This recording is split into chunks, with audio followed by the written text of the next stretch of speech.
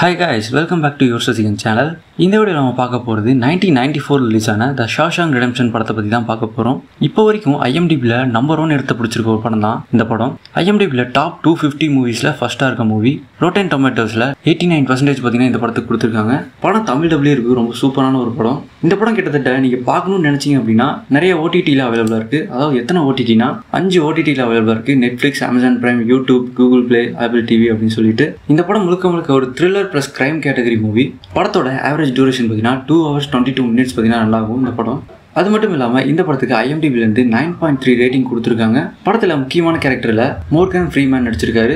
அதுக்கப்புறம் dim Robbins இந்த படத்தில் ஹீரோவாக நடிச்சிருக்காரு. வாங்க இந்த படத்தோட ஸ்டோரிக்குள்ள போகலாம் இந்த படத்தோட ஸ்டோரியை கொஞ்சம் ஷார்ட்டாக சின்னதாக சொல்லணும் அப்படின்னு பார்த்தீங்கன்னா படத்தில் நம்ம ஹீரோ நார்மலான ஒரு வாழ்க்கை வாழ்ந்துட்டு இருக்காரு இவரோட கேர்ள் ஃப்ரெண்ட் இல்லை ஒய்ஃப்னு கூட சொல்லலாம் இவங்க ஏமாற்றிட்டு போயிடுறாங்க. இப்படி ஏமாத்தினக்கப்புறம் இவர் என்ன பண்ணுறாருன்னா ரொம்ப மன உளைச்சலான நம்மலாம் கொஞ்சம் ட்ரிங்க்ஸ் பண்ணுவோம் இல்லையா? அதே மாதிரி ட்ரிங்க்ஸ் பண்ணிட்டு சரி அவர் ஒய்ஃபை பார்க்க போகலாம் அப்படின்னு சொல்லி நைட் நேரத்தில் வண்டி எடுத்துட்டு ஒய்ஃபோட வீட்டுக்கு போகிறாரு அந்த டைமில் அவங்க ஒய்ஃப் என்ன பண்ணிட்டு இருக்காங்க அப்படின்னா அவங்களோட பாய் ஃப்ரெண்ட் கூட ஜாலியாக இருக்காங்க. இப்படி ஜாலியாக இருக்கும்போது இவர் பார்த்தீங்கன்னா தண்ணி அடிச்சுட்டு கொஞ்சம் ஃபீல் பண்ணிட்டு இருக்காரு. அதுக்கப்புறம் அங்கே இருக்க முடியாமல் அவரும் அந்த இடத்த விட்டு கிளம்பி போயிடுறாரு. இதுக்கு அடுத்த நாள் என்ன ஆகுதுன்னா அவரோட ஒய்ஃபும் அவரோட பாய் ஃப்ரெண்டும் இறந்து கிடக்குறாங்க. இப்படி இறந்து போனதுக்கப்புறம் அந்த கேஸ் கோர்ட்டுக்கு போகுது. நம்ம ஹீரோ அந்த நைட் நேரத்தில் அங்கே போயிருப்பார் இல்லையா? அவர் போனதை யாரோ ஒருத்தர் பார்த்துடுறாங்க. இப்படி பார்த்தவங்க சாட்சி சொல்லி கடைசியில் இவர் தான் அந்த கொலையை பண்ணதா சொல்லி இவரை ஜெயிலுக்கும் அமைச்சிடுறாங்க. இப்படி தப்பே பண்ணாத நம்ம ஹீரோ ஜெயிலுக்கு போயிடுறாரு. இதுக்கப்புறம் அந்த ஜெயிலில் ஒருத்தரை மீட் பண்ணுறாரு இப்படி மீட் பண்ணக்கப்புறம் அந்த ஜெயிலில் அந்த ஹீரோக்கு சுற்றியும் என்ன நடந்துச்சு? அதுக்கப்புறம் இந்த படம் ஃபுல்லாகவே இந்த ஜெயிலுக்குள்ளே என்னென்ன நடந்துச்சு அப்படிங்கிறது தான் ரொம்ப சூப்பராக ஒரு குட் ஃபீலில் ஒரு சொன்ன படம் தான் த ஷாஷாங் ரிடம்ஷன் படத்தோட ஸ்டோரி கேட்கும்போது ஒரு நார்மலான ஸ்டோரி கேட்குற மாதிரி தான் இருக்கும். ஆனால் படத்தை எடுத்திருக்க விதம் அப்படின்னு சொல்லணும்னா வேற மாதிரி எடுத்திருக்காங்க. படத்தை ஐஎம்டிவிலே டாப்பாக இப்போ வரைக்கும் இருக்கும் அப்படின்னா இந்த படம் எந்த அளவுக்கு ஒரு பேசக்கூடிய அளவுக்கு ரொம்ப சூப்பராக இருக்கும் அப்படிங்கிறத நீங்களே இருப்பாருங்க படத்தை பார்க்க ஆரம்பிச்சிங்க அப்படின்னா என்னோட ஃபீல் எப்படி இருந்துச்சு அப்படிங்கிறத சொல்கிறேன் இந்த படத்தை நீங்கள் பார்க்க ஆரம்பிச்சிங்க அப்படின்னா படத்தோட ஸ்டோரிக்குள்ளேயே போயிருவீங்க. படம் முடியும் போது என்னடா அதுக்குள்ளே முடிச்சிட்டீங்க? அப்படிங்கிற மாதிரியும் இந்த படத்தோட ஹாப்பி எண்டிங் இருக்கும். அந்த எண்டிங்கில் நமக்கும் பார்த்தீங்கன்னா அவ்வளோ சந்தோஷமாக இருக்கும். அந்த மாதிரி ஒரு ஃபீல்டர் கொடுத்த ஒரு படம் தான் இந்த படத்தை பார்க்கலாமா வேணாமா அப்படின்னு ஒரு டவுட்டில் இருந்தீங்க அப்படின்னா இப்போ வரைக்கும் கண்டிப்பாக மஸ்ட் வாட்ச் பண்ணலாம். உங்கள் வாழ்க்கையில் மிஸ்ஸே பண்ணக்கூடாத ஒரு படம் தான் இந்த படம். ஹேவர் கன் ஷாஷாங் ரிடம்ஷன் அப்படிங்கிற ஒரு குறுநாவலை பேஸ் பண்ணி தான் இந்த ஒரு ஷாஷாங் ரிடம்ஷன் படத்தை எடுத்திருக்காங்க.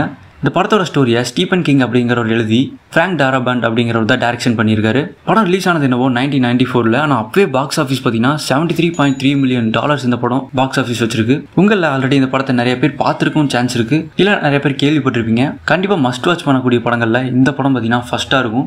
இந்த படத்தை நீங்கள் ஆல்ரெடி பார்த்துருந்தீங்க அப்படின்னா நீங்கள் இந்த படத்துக்கு எத்தனை ரேட்டிங் கொடுப்பீங்க அப்படிங்கிறத மறக்காமல் கமெண்ட்டில் சொல்லுங்கள்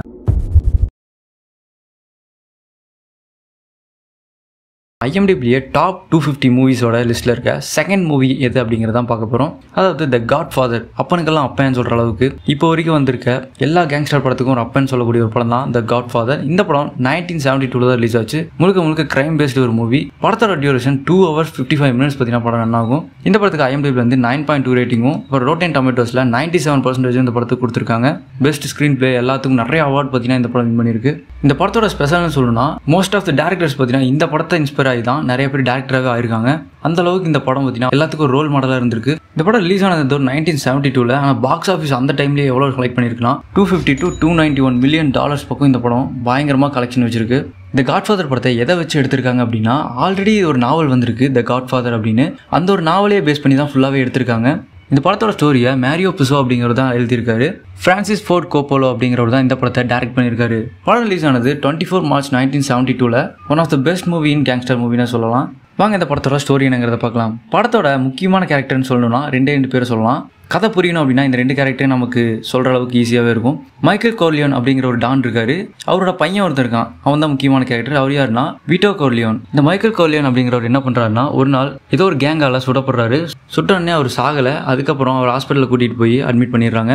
இப்படி ஒரு சுட்டக்கப்புறம் அவரோட பையனான விட்டோ கோர்லியோன் என்ன பண்ணுறாருன்னா இது சுட்டது யார்? அப்படின்னு சொல்லி தேடி கண்டுபிடிச்சி அவங்களை கொண்டுறாரு இப்படி கொண்டுட்டு அவரும் தலைமுறை வர்றாரு இதுக்கப்புறம் என்ன ஆகுதுன்னா மைக்கேல் கோர்லியோன் சரியாகி வெளியே வந்துடுறாரு. இப்படி வெளியே வந்து அவரும் இப்படி யாரு கொலை பண்ண ட்ரை பண்ணுது அதுக்கு ஹெட் யாரு அப்படிங்கிறத தேடுறாரு. இப்படி தேடிட்டு இருக்கும்போது அவரோட பையனான விட்டோ கோலியோன் நிறைய பேர்த்த கொண்டிருப்பார் இல்லையா? அவங்களோட ஆளுங்க என்ன பண்ணுறாங்க அப்படின்னா இந்த நம்ம மெயின் டானோட மூத்த பையனை கொண்டுடுறாங்க இப்படி கொண்டக்கப்புறம் அவரும் ரொம்ப மன வருத்தத்தில் சரியாகி வந்தக்கப்புறம் அந்த சடலத்தை பார்க்குறாரு இப்படி பார்த்ததுக்கப்புறம் அவரும் பயங்கரமாக காண்டாகி அவருக்கு தெரிஞ்ச மாஃபியா கேங் எல்லாத்தையும் கூப்பிட்டு ஒரு மீட்டிங் போடுறாரு. இப்படி இந்த மீட்டிங் முடிஞ்சக்கப்புறம் அவர் பையன் தலைமறைவாயிருமால அவன் பார்த்தீங்கன்னா திரும்ப அவங்க அப்பா கிட்டே வந்துடுறான். இப்படி வந்தக்கப்புறம் நம்ம மெயின் டானான மைக்கேல் கோலியன் பார்த்தீங்கன்னா வயசாகி அவர் இறந்துடுறாரு.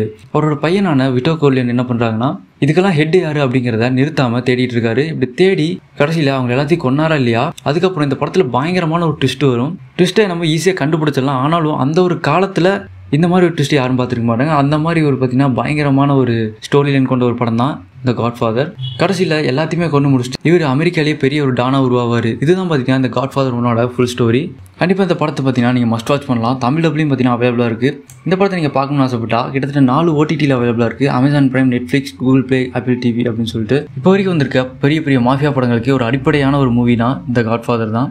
ஆல்ரெடி இந்த படத்தை நீங்கள் பார்த்துருந்தீங்க அப்படின்னா உங்களுக்கு இந்த அளவுக்கு இந்த படம் பிடிக்கும். இந்த படத்துக்கு நீங்கள் எந்த அளவுக்கு ரேட்டிங் கொடுப்பீங்க அப்படிங்கிறத மறக்காமல் கமெண்ட்டில் சொல்லுங்கள்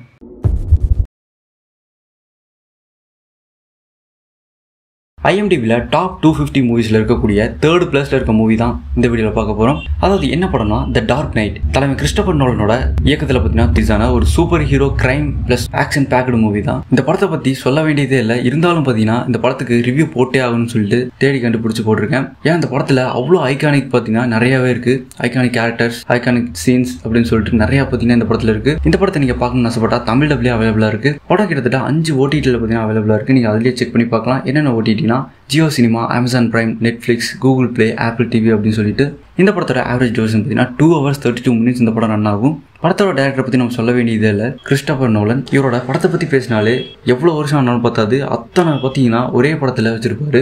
உதாரணத்துக்கு இந்த டார்க் நைட் படத்தையே நீங்கள் ஒவ்வொரு கேரக்டர் பேஸ் பண்ணி பார்த்தீங்கன்னா வெவ்வேறு படம் பார்க்குற மாதிரியே இருக்கும். ஒரு பத்து கேரக்டர் நீங்கள் பேஸ் பண்ணி பார்த்தீங்கன்னா பத்து படத்தை பார்த்த ஃபீல் கொடுக்கும். அப்படிப்பட்ட ஒரு படத்தை இறக்கக்கூடிய டேரக்டர் தான் கிறிஸ்டபர் நோலன் இந்த படத்தில் ஹீரோவா கிறிஸ்டியன் பேலே அப்படிங்கிறவர் தான் பேட்மேன் கேரக்டர் நடிச்சிருக்காரு.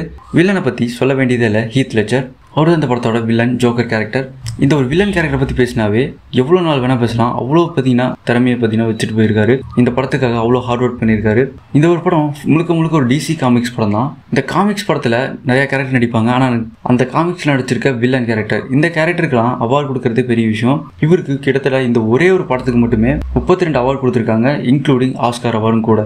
வில்லன் கேரக்டருக்கு அதுவும் டிசி காமிக்ஸில் நடித்த ஒரு வில்லன் கேரக்டருக்கெல்லாம் கிடைக்கிறதெல்லாம் சாதாரண விஷயமே கிடைக்காது. அந்த அளவுக்கு உயிரை கொடுத்து நடிச்சிருக்காரு. என்ன ஒரு சோகமான விஷயம்னா இந்த அவார்ட்லாம் வாங்கும்போது அவர் உயிரோடு இல்லை. இப்போ வரைக்கும் இவர மாதிரி ஒரு ஆக்டர் இருந்ததே இல்லை அப்படிங்கிற மாதிரி எல்லா இடத்துலையும் பார்த்தீங்கன்னா பேசிகிட்டு இருக்காங்க. வாழ்ந்தா இப்படி வாழணுங்கிற மாதிரி ஒரு பெஸ்ட்டான ஆக்டராக பார்த்தீங்கன்னா வாழ்ந்து இறந்து போயிருக்காரு. அது போக இந்த படத்தில் முக்கியமான கேரக்டரில் கேரி ஓல்ட்மேன் அப்படிங்கிறவர் நடிச்சிருக்காரு. அதுக்கப்புறம் மைக்கேல் கேன் அப்படிங்கிறவர் எல்லாரும் பார்த்தீங்கன்னா முக்கியமான கேரக்டர்லாம் நடிச்சிருக்காங்க. இந்த படத்துக்கு ஐஎம்டிவிலேருந்து நைன் ரேட்டிங் கொடுத்துருக்காங்க. அது போக அமேசான் வெப்சைட்டில் பார்த்தீங்கன்னா ஃபோர் பாயிண்ட் சிக்ஸ் ரேட்டிங் கொடுத்துருக்காங்க அவுட் ஆஃப் ஃபைவ்க்கு ரோட்டன் டொமேட்டோஸில் நைன்ட்டி ஃபோர் பர்சன்டேஜ் பார்த்தீங்கன்னா இந்த படத்துக்கு கொடுத்துருக்காங்க. இந்த படம் எக்ஸாக்டாக எப்போ ரிலீஸ் ஆச்சுன்னா ஜூலை எயிட்டீன் டூ தௌசண்ட் எயிட்டில் தான் இந்த படம் இந்தியாவில் ரிலீஸ் ஆச்சு.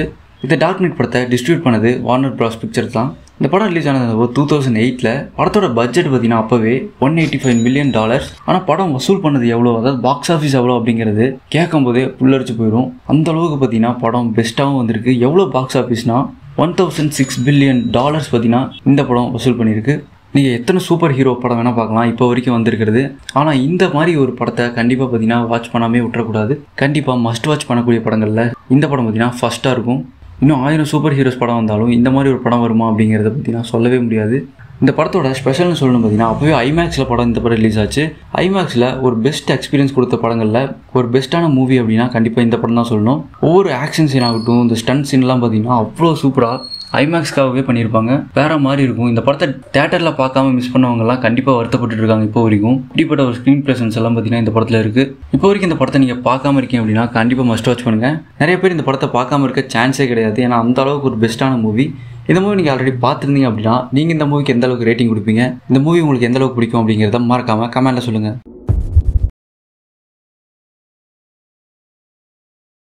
ஐஎம்டிபியில் டாப் டூ ஃபிஃப்டி மூவிஸில் இருக்கக்கூடிய ஃபோர்த் பிளேஸில் இருக்க மூவி தான் பார்க்க போகிறோம் அது என்ன படம்னா டுவெல் ஆங்க்ரி மேன் இந்த பேரை நீங்கள் கண்டிப்பாக ஏதோ ஒரு இடத்துல கேள்விப்பட்டிருப்பீங்க.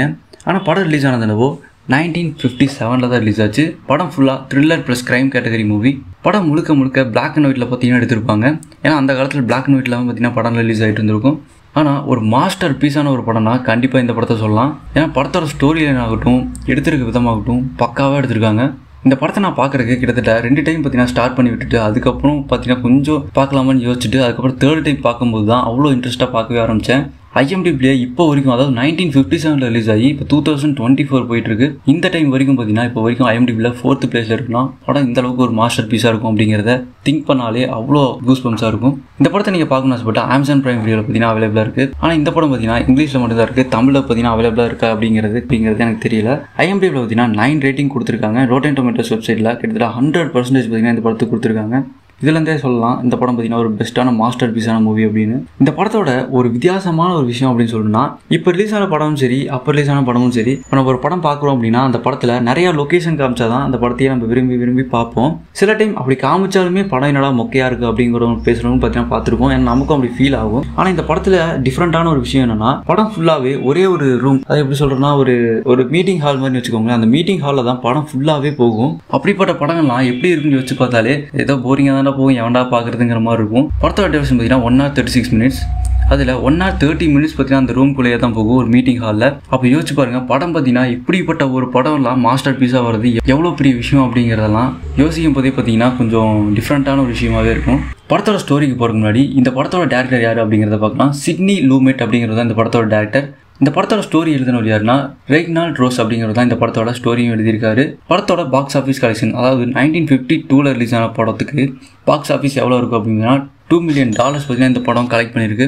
உண்மையாலுமே பார்த்தீங்கன்னா அதெல்லாம் பெரிய விஷயம். வாங்க படத்தோட ஸ்டோரிக்குள்ளே போகலாம் படத்தோட ஸ்டோரியை ஓரளவுக்கு பார்த்தீங்கன்னா ரொம்ப ஸ்பாய்டர் இல்லாமல் கொஞ்சம் டீசெண்டாகவே சொல்கிறேன் படத்தோட ஸ்டார்டிங் சீன் என்ன பண்ணுறாங்கன்னா ஒரு சின்ன பையனை அரெஸ்ட் பண்ணி கூட்டிகிட்டு வராங்க. அதாவது என்ன பண்ணான்னு சொல்லிட்டுனா அந்த பையன் அவங்க அப்பாவை பார்த்தீங்கன்னா கொலை பண்ணிட்டான் அப்படின்னு சொல்லி அந்த பையனை அரெஸ்ட் பண்ணி ஜெயிலுக்கு கூப்பிட்டு வராங்க. இந்த ஒரு கேஸ் கோர்ட்டுக்கு கொண்டு போகிறாங்க கோர்ட்டுக்கு கொண்டு போகும்போது என்ன ஆகுதுன்னா அந்த ஜட்ஜினால் கரெக்டான தீர்ப்பு கொடுக்க முடியல.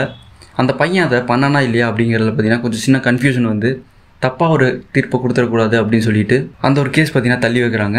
இப்படிப்பட்ட கேஸ்லாம் அதாவது ஒரு பெரிய கேஸ் என்ன பண்ணுறாங்க அப்படின்னா அதுக்கு ஜட்மெண்ட் கொடுக்க முடியல அப்படின்னா அந்த கேஸை பார்த்தீங்கன்னா அப்படியே விட்டுற மாட்டாங்க. என்ன பண்ணுவாங்கன்னா ஒரு பன்னெண்டு பேர் கொண்ட குழு அமைச்சு அந்த பன்னெண்டு பேரும் பார்த்தீங்கன்னா டிஸ்கஸ் பண்ணி என்ன ஒரு ஜட்மெண்ட் கொடுக்குறானோ அதுதான் அந்த கேஸுக்கான தீர்ப்பாகவே இருக்கும்.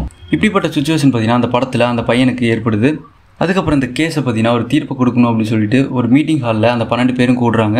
இந்த பன்னெண்டு பேரும் சேர்ந்து மீட்டிங்கில் ஒன் ஹவர் தேர்ட்டி மினிட்ஸ் பார்த்தீங்கன்னா என்ன டிஸ்கஸ் பண்ணுறாங்க அதுக்கப்புறம் என்ன ஒரு ஜட்மெண்ட் கொடுக்குறாங்க அப்படிங்கிறது தான் இந்த படத்தோட ஃபுல் ஸ்டோரியாகவே இருக்கும். இப்போ இவ்வளோ தான் இந்த படத்தோட ஸ்டோரி இன்னொரு விஷயத்த சொல்லணும் அப்படின்னா இப்போ இந்த படத்தில் இவங்க டிஸ்கஸ் பண்ணும்போது அந்த பையன் என்ன பண்ணா எப்படி பண்ணா அப்படிங்கிறது எல்லாத்தையுமே இப்போ சொல்லும்போது கொஞ்சம் சின்ன சின்ன விஷுவல்ஸ் எல்லாம் இப்போ இருக்க படங்களில் வந்துட்டு போகும் இல்லையா? இப்போ இந்த படத்தில் என்ன ஒரு டிஃப்ரெண்ட்டான ஒரு விஷயம்னா இவங்க பேசும்போது ஜஸ்ட் பேச தான் செய்வாங்க.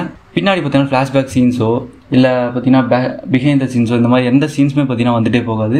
முழுக்க முழுக்க இவங்க பேசிட்டு மட்டுமே தான் இருப்பாங்க இப்படிப்பட்ட படம்லாம் மாஸ்டர் பீஸாக வந்திருக்கு அப்படின்னா எப்படிப்பட்ட ஒரு ஸ்டோரி லைன் இருக்கும் அந்த ஆக்டிங் ஆகட்டும் எப்படி இருக்கும் அப்படிங்கிறத கண்டிப்பாக யோசிச்சாலே கூஸ் பம்ஸ் ஆகுது. அந்த அளவுக்கு பார்த்தீங்கன்னா ஒரு மாஸ்டர் பீஸான படம். இப்போ வரைக்கும் நீங்கள் இந்த படத்தை பார்க்காம இருக்கீங்க அப்படின்னா கண்டிப்பாக மஸ்ட் வாட்ச் பண்ணலாம்.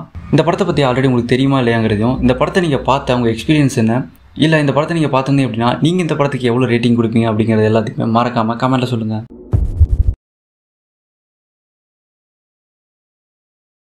நம்ம செகண்ட் பிளேஸில் இருக்க படம் பார்த்துருப்போம் த காட் ஃபாதர் அந்த படத்தோட செகண்ட் பார்ட் அதாவது the Godfather part two படத்தோட ரிவ்யூ தான் இந்த வீடியோவில் பார்க்க போகிறோம் இந்த படம் நைன்டீன் செவன்ட்டி ஃபோர் தான் ரிலீஸ் ஆச்சு. முழுக்க முழுக்க கிரைம் ட்ராமா ப்ளஸ் வேர்ல்ட்லேயே பெஸ்ட்டான ஒரு கேங்ஸ்டர் மூவி இந்த படத்தை நீங்கள் பார்க்கணும்னு ஆசைப்பட தமிழ் பிளே அவைலபிளாக இருக்குது அது போக நாலு ஓடிடியில் பார்த்தீங்கன்னா அவைலபிளாக இருக்குது Netflix Amazon Prime Google Play Apple TV அப்படின்னு சொல்லிட்டு.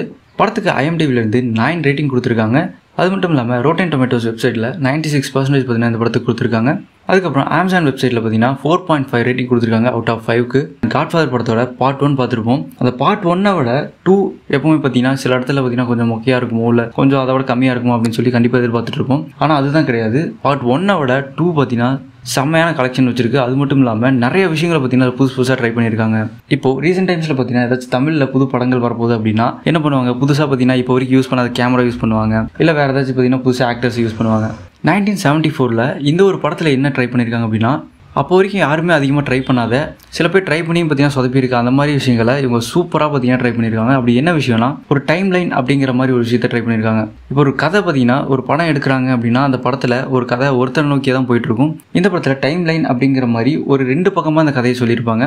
ஒரு சைடு பார்த்தீங்கன்னா நம்ம ஃபர்ஸ்ட் பார்ட்டில் இறந்து போயிருந்த நம்ம காட் ஃபாதர் விட்டோ கோர்லியோன் அவரோட லைனில் பார்த்தீங்கன்னா ஒரு டைம் லைனில் ஒரு படம் பார்த்தீங்கன்னா ரன் ஆகிட்டு இருக்கும் இன்னொரு பக்கத்தில் அவரோட பையன் மைக்கேல் கோர்லியன் அவரோட லைனில் பார்த்தீங்கன்னா ஒரு படம் ரன் இருக்கும். எல்லாத்துலேயுமே பெஸ்ட்டுன்னு சொல்லக்கூடிய அளவுக்கு ரொம்ப சூப்பராக பார்த்தீங்கன்னா படத்தை எடுத்திருக்காங்க. படத்தோட ஆவரேஜ் டூரேஷன் பார்த்தீங்கன்னா three hours twenty two minutes பார்த்தீங்கன்னா படம் ரன் ஆகும். என்னை பொறுத்த வரைக்கும் பார்த்தீங்கன்னா படம் பார்க்க எப்படி இருந்துச்சு அப்படிங்கிறத கொஞ்சம் தெளிவாக சொல்லணும் அப்படின்னா இந்த three hours twenty two minutes பார்த்தீங்கன்னா எப்படி போகும்னா கொஞ்சம் ஸ்லோவாக தான் போகும். நீங்கள் கொஞ்சம் ஸ்லோவாக இருந்தாலும் பரவாயில்ல அப்படின்னு சொல்லி பொறுமையாக பார்த்தீங்க அப்படின்னா கண்டிப்பாக இந்த படத்தை உங்களால் நல்லா ஃபீல் பண்ண முடியும். அவ்வளோ சூப்பராக பார்த்தீங்கன்னா போகும். அடல்ட் காட்சிகள் அப்படிங்கிறது கொஞ்சம் அதிகமாக இருக்கும். அடல்ட்னா அந்த மாதிரி கிடையாது. பார்த்தீங்கன்னா அதிகமாக கொஞ்சம் கொலை பண்ணுறது இந்த ரத்தம் கலந்த சீன் அந்த மாதிரிலாம் பார்த்தீங்கன்னா நிறையா வரும். அதனால் நீங்கள் கொஞ்சம் எயிட்டீன் ப்ளஸ் அந்த மட்டும் இந்த படத்தை கண்டிப்பாக ட்ரை பண்ணலாம். இந்த படம் எப்போ எக்ஸாக்டாக ரிலீஸ் ஆச்சு அப்படின்னு பார்த்தீங்கன்னா டிசம்பர் டுவெண்ட்டி நைன்டீன் செவன்ட்டி ஃபோரில் தான் ரிலீஸ் ஆச்சு. இந்த படத்தோட டேரக்டர் யாருன்னா ஃபர்ஸ்ட் பார்ட் எடுத்திருந்த ஃப்ரான்சிஸ் ஃபோர்ட் கோப்போலோ அப்படிங்கிறவர் தான் இந்த படத்தையும் இயக்கியிருக்காரு. அது மட்டும் இல்லாமல் பாரமௌண்ட் பிக்சர்ஸ் தான் இந்த படத்தை டிஸ்ட்ரிபியூட் பண்ணியிருக்காங்க. படத்தோட பாக்ஸ் ஆஃபீஸ் எவ்வளோன்னு பார்த்தீங்கன்னா நைன்டி த்ரீ மில்லியன் டாலர்ஸ் வேற மாதிரியான கலெக்ஷன் பார்த்தீங்கன்னா வசூல் பண்ணியிருக்கு. வாங்க இந்த படத்தோட ஸ்டோரி என்னங்கிறத பார்க்கலாம். இந்த படத்தை இதுக்கு முன்னாடி கொஞ்சம் டைம்லைன் வழியாக சொல்லியிருப்பேன். அதை பார்த்தீங்கன்னா கொஞ்சம் சிம்பிளாக புரியிற வழியில் கொஞ்சம் ஸ்பாய்லர் எல்லாமே சொல்கிறேன் ஒரு சைடு மைக்கேல் கோலியனோட அப்பா அதாவது விட்டோ கோலியன் முதல்ல பார்த்தீங்கன்னா காட்ஃபாதர் இருந்திருப்பார் இல்லையா? அவரோட ஸ்டோரியை காமிக்கிறாங்க. இது எப்படி போகுது அப்படின்னா இவர் எப்படி இந்த டானா மாறி இருப்பாரு அப்படிங்கிறத பேஸ் பண்ணி அந்த ஸ்டோரி போகும். அதாவது அந்த ஃப்ளாஷ்பேக் அப்புறம் தான் காட்ஃபாதர் ஒன்னே வர மாதிரி தான் இருக்கும். அந்த மாதிரி தான் பார்த்தீங்கன்னா கொஞ்சம் எடுத்திருக்காங்க. அதாவது எப்படின்னா இந்த விட்டோ கோலியன் இருக்கார் இல்லையா அவரு பார்த்தீங்கன்னா ஒரு ஃபேமிலியில் இருக்காரு. எப்படின்னா அவங்க அப்பா அம்மா அப்புறம் அவரோட அண்ணன். அப்படிங்கிற மாதிரி ஒரு ஃபேமிலியாக நாலு பேர் இருக்காங்க. ஆல்ரெடி முன்னாடி டானாக இருந்த இந்த விட்டோ கோலியனோட அப்பா பார்த்தீங்கன்னா அவர் கூட வேலை செஞ்சுட்டு இருந்திருப்பாரு. இப்படி அவர் சொன்ன வேலையை செய்யாதனால அந்த டான் விட்டோ கோலியனோட அப்பாவை கொண்டிருப்பாரு இந்த கோவத்தில் என்ன ஆகுது அப்படின்னா விட்டோ கோலியனோட அண்ணன் இருக்கார் இல்லையா?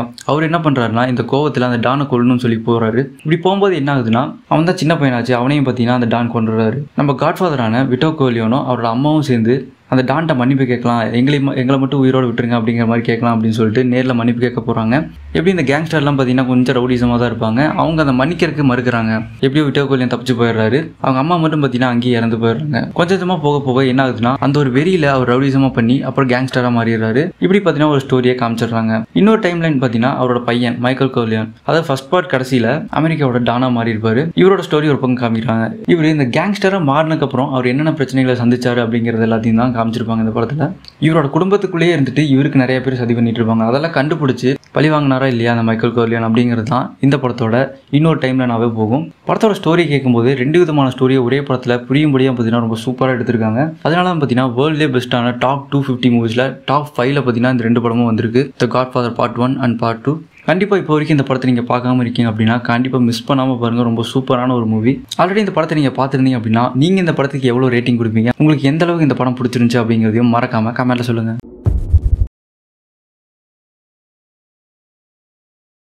ஐஎம்டிபியில் டாப் டூ ஃபிஃப்டி மூவிஸில் சிக்ஸ்த் பிளேஸில் இருக்க மூவி தான் பார்க்க போகிறோம் என்ன படம்னா? ஷின்லாஸ் லிஸ்ட் இந்த படம் நைன்டீன் நைன்டி த்ரீல தான் ரிலீஸ் ஆச்சு. War plus drama category movie three hours fifteen minutes பார்த்தீங்கன்னா அந்த படம் ரன் ஆகும். இந்த படத்துக்கு ஐஎம்டிபிலேருந்து நைன் ரேட்டிங் கொடுத்துருக்காங்க அவுட் ஆஃப் டென்க்கு ரோட்டன் டொமேட்டோஸ் வெப்சைட்டில் நைன்டி எயிட் பர்சன்டேஜ் பார்த்தீங்கன்னா இந்த படத்துக்கு கொடுத்துருக்காங்க. அது மட்டும் இல்லாமல் காமன் சென்ஸ் மீடியாவில் ஃபைவ் ரேட்டிங் கொடுத்துருக்காங்க அவுட் ஆஃப் ஃபைவ்க்கு இந்த படம் எதை பேஸ் பண்ணி எடுத்தாங்கன்னா முழுக்க முழுக்க ரியலாக நடந்த ஹோலோகாஸ்ட்டை பற்றி தான் எடுத்திருக்காங்க. இன்னொரு விஷயம் இந்த படத்தை பற்றி சொல்லணும் அப்படின்னா இந்த படத்தை நீங்கள் ஃபுல்லாக அழுகாமல் பார்த்தீங்க அப்படின்னா உங்களுக்கு லைஃப் டைம் செட்டில்மெண்ட்டே கொடுக்கலாம். அந்த அளவுக்கு பார்த்தீங்கன்னா படத்தை அவ்வளோ சென்டிமெண்ட்டாகவும் ரொம்ப ரொம்ப ரியலாகவும் பார்த்தீங்கன்னா எடுத்திருக்காங்க. இந்த படம் பிப்ரவரி ஃபோர் நைன்டீன் நைன்டி ஃபோரில் தான் ரிலீஸ் ஆயிருக்கு யூஎஸ்ஏல இந்த படத்தை ஸ்டீவன் ஸ்பைல்பர்க் அப்படிங்கிறத டைரக்ட் பண்ணியிருக்காரு. இந்த படத்தோட பெரிய விஷயமா சொல்லப்படுறது எதுனா கிட்டத்தட்ட ஏழு ஆஸ்கார் பார்த்தீங்கன்னா இந்த படம் வாங்கியிருக்கு. ஒரே ஒரு படத்துக்கு ஏழு ஆஸ்கார் கிடச்சிருக்குன்னா அந்த படத்தை எந்த அளவுக்கு பார்த்தீங்கன்னா செதுக்கியிருப்பாங்க அப்படிங்கிறது உண்மையாக இருக்கும் அப்படிங்கிறது யோசிச்சாலே கூஸ் பம்ஸ் ஆகுது. இன்னொரு விஷயமா இந்த படத்தை டிஸ்ட்ரிபியூட் பண்ணது யூனிவர்சல் பிக்சர்ஸ் தான் பார்த்தீங்கன்னா பண்ணியிருக்காங்க. இப்படிப்பட்ட படத்தை ரியல் ஸ்டோரியில இருந்து எடுத்திருந்தாலும் இந்த ரியல் ஸ்டோரி வரதுக்கு முன்னாடி அதை ஒருத்தர் பார்த்தீங்கன்னா காவியமாக எழுதியிருப்பார். ஒரு உண்மை சம்பவத்தை பார்த்தீங்கன்னா ஒரு புக்காவோ ஏதோ பார்த்தீங்கன்னா நாவல் மாதிரி எழுதுவாங்க இல்லையா? அப்படி எழுதப்பட்ட ஷின்லர்ஸ் ஆர்க் அப்படிங்கிற ஒரு நாவல் இருந்தால் அடாப்ட் பண்ணி எழுதியிருக்காங்க. படத்தோட பாக்ஸ் ஆஃபீஸ் அந்த காலத்துல எவ்வளோ வசூல் பண்ணியிருக்குன்னா? Three hundred and twenty two point two million dollars பார்த்தீங்கன்னா இந்த படம் வசூல் பண்ணியிருக்கு. இந்த படத்தில் ஸ்டோரி லெவலில் பிக்கஸ்ட்டாக பார்த்தீங்கன்னா நிறைய விஷயம் இருந்தாலும் ஸ்க்ரீன் பிளே லெவல்லையும் வேற மாதிரி பார்த்தீங்கன்னா டேரக்டர் வடிவமைச்சிருக்காரு. அதாவது எப்படின்னா இந்த படத்தை அவர்னால நைன்டீன் நைன்டி த்ரீல கரர்லையும் எடுத்திருக்க முடியும். ஆனாலும் அந்த கடலில் எடுக்கிறத தவிர்த்துட்டு இந்த படத்தில் வர சம்பவங்கள்லாம் நடந்தது வேர்ல்டு வார் டூ சமயத்தில் தான் நடந்திருக்கும். அப்போ என்ன சமயத்தில் என்ன மாதிரி கேமரா அவைலபிலிட்டி அந்த மாதிரிலாம் இருந்துச்சோ அந்த காலத்தில் பிளாக் அண்ட் ஒயிட் அப்படிங்கிற ஒன்று பார்த்தீங்கன்னா நம்ம வச்சிருப்போம் இல்லையா? அதையே பேஸ் பண்ணி ஃபுல்லாகவே பிளாக் அண்ட் ஒயிட்லேயே எடுத்திருக்காரு. ஒரு சில இடத்துல மட்டும் ஒரு சீன்ஸை பார்த்தீங்கன்னா புரிய வைக்கிறக்காகவும் ஒரு ஐகானிக்காகவும் அந்த இடத்துல மட்டும் கலரை யூஸ் பண்ணியிருப்பாரு அதெல்லாம் பார்த்தீங்கன்னா இந்த படத்துலேயே ரொம்ப ரொம்ப ஹைலைட்டாக சொல்லலாம். இந்த படத்தில் ஹீரோவா லியாம் நீசன் அப்படிங்கிறது தான் நடிச்சிருக்காரு. ஆஸ்கார் ஷின்லர் தான் இவரோட பேர். படத்தில் வில்லனா ரேல் ஃபியன்ஸ் அப்படிங்கிறது தான் நடிச்சிருக்காரு. படத்தில் இவரோட பேர் ஆமன் கோத். இவர் தான் இந்த படத்தோட பயங்கரமான ஒரு வில்லன்னே சொல்லலாம். வாங்க இந்த படத்தோட ஸ்டோரிக்குள்ளே போகலாம் ஆனால் ஸ்டோரிக்குள்ளே போகிறதுக்கு முன்னாடி சின்ன ஒரு ஹிஸ்ட்ரி நம்ம தெரிஞ்சுக்கணும்.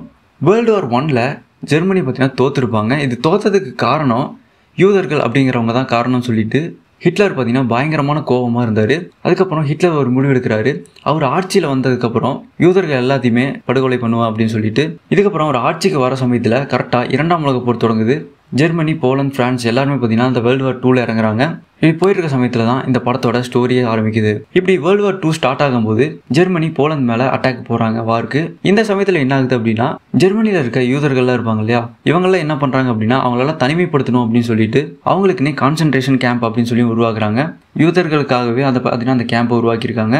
அதனால யூதர்கள் அவங்க அவங்களே வந்து பார்த்தீங்கன்னா அவங்க ரெஜிஸ்டர் பண்ணிட்டு அந்த கேம்புக்கு போகிற மாதிரி ஜெர்மனி பார்த்தீங்கன்னா சட்டத்தை கொண்டு வராங்க. இப்படி இவங்க எல்லாருமே ரெஜிஸ்டர் பண்ணக்கப்புறம் புதுசாக ஒரு விஷயத்தை பார்த்தீங்கன்னா சொல்கிறாங்க என்னதுன்னா இந்த கேம்பில் இருக்க யூதர்கள்லாம் பிஸ்னஸ் பண்ணக்கூடாது அப்படின்னு சொல்லிட்டு இப்படி சொன்னதுக்கப்புறம் என்ன ஆகுதுன்னா அவங்களோட வாழ்வாதாரம் பயங்கரமாக பாதிக்குது. அவங்க நினச்சத ஒரு விஷயத்த பண்ணவே முடியாதுங்கிற மாதிரி அடிமையாக வாழ்கிறாங்க இப்படி இந்த கேம்ப் போயிட்டு இருக்கு இல்லையா? அந்த கேம்போட ஹெட் ஒருத்தர் இருக்கான். அவன் தான் ஏமான் கோத் இந்த படத்தோட வில்லன் இவன் எப்படிப்பட்ட கேரக்டராக காமிக்கிறாங்க அப்படின்னா காலையில் பல்லு விளக்குறானோ இல்லையோ அதுக்கு முன்னாடி ஒரு துப்பாக்கி எடுத்து அவனுக்கு தோணுச்சுன்னா அங்கே இருக்க யூதர்களை சுட்டு கொள்றான் இப்படிப்பட்ட ஒரு அரக்கனாவும் ஒரு சைக்கோவாகவும் அவன் காமிக்கிறாங்க.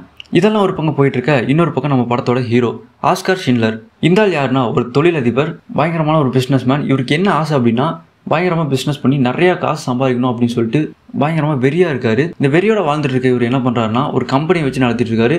அந்த கம்பெனிக்கு ஒரு அக்கௌண்டன்ட் தேவைப்படுறாங்க. அந்த அக்கௌண்டன்ட்டை பார்த்தீங்கன்னா தேடிட்டு இருக்கும்போது யூதர்களில் ஒருத்தரை அக்கௌண்டன்ட்ல காசு கொடுத்து வாங்கிக்கிறாரு. அந்த நம்ம வில்லன் இருக்கா இல்லையா அவங்ககிட்ட இப்படி வாங்குற இந்த யூதர்களுக்கு சம்பளம் கொடுக்க தேவையில்ல. அந்த ஹெட்டுக்கு கொஞ்சம் காசு கொடுத்தாவே போதும். இப்படி எல்லாமே நல்லா போயிட்டு இருக்க சமயத்தில் இவர் இதே நல்லா இருக்கு ஐடியா நல்லா இருக்கு அப்படின்னு சொல்லிட்டு இவங்களுக்கு சம்பளமும் கொடுக்க தேவையில்லை இல்லையா? இதனாலே என்ன பண்றாரு அப்படின்னா நிறைய யூதர்களை இதே மாதிரி ஒரு கம்பெனியை ஸ்டார்ட் பண்ணி நிறைய பேர்த்த கூட்டுக்கலாம்.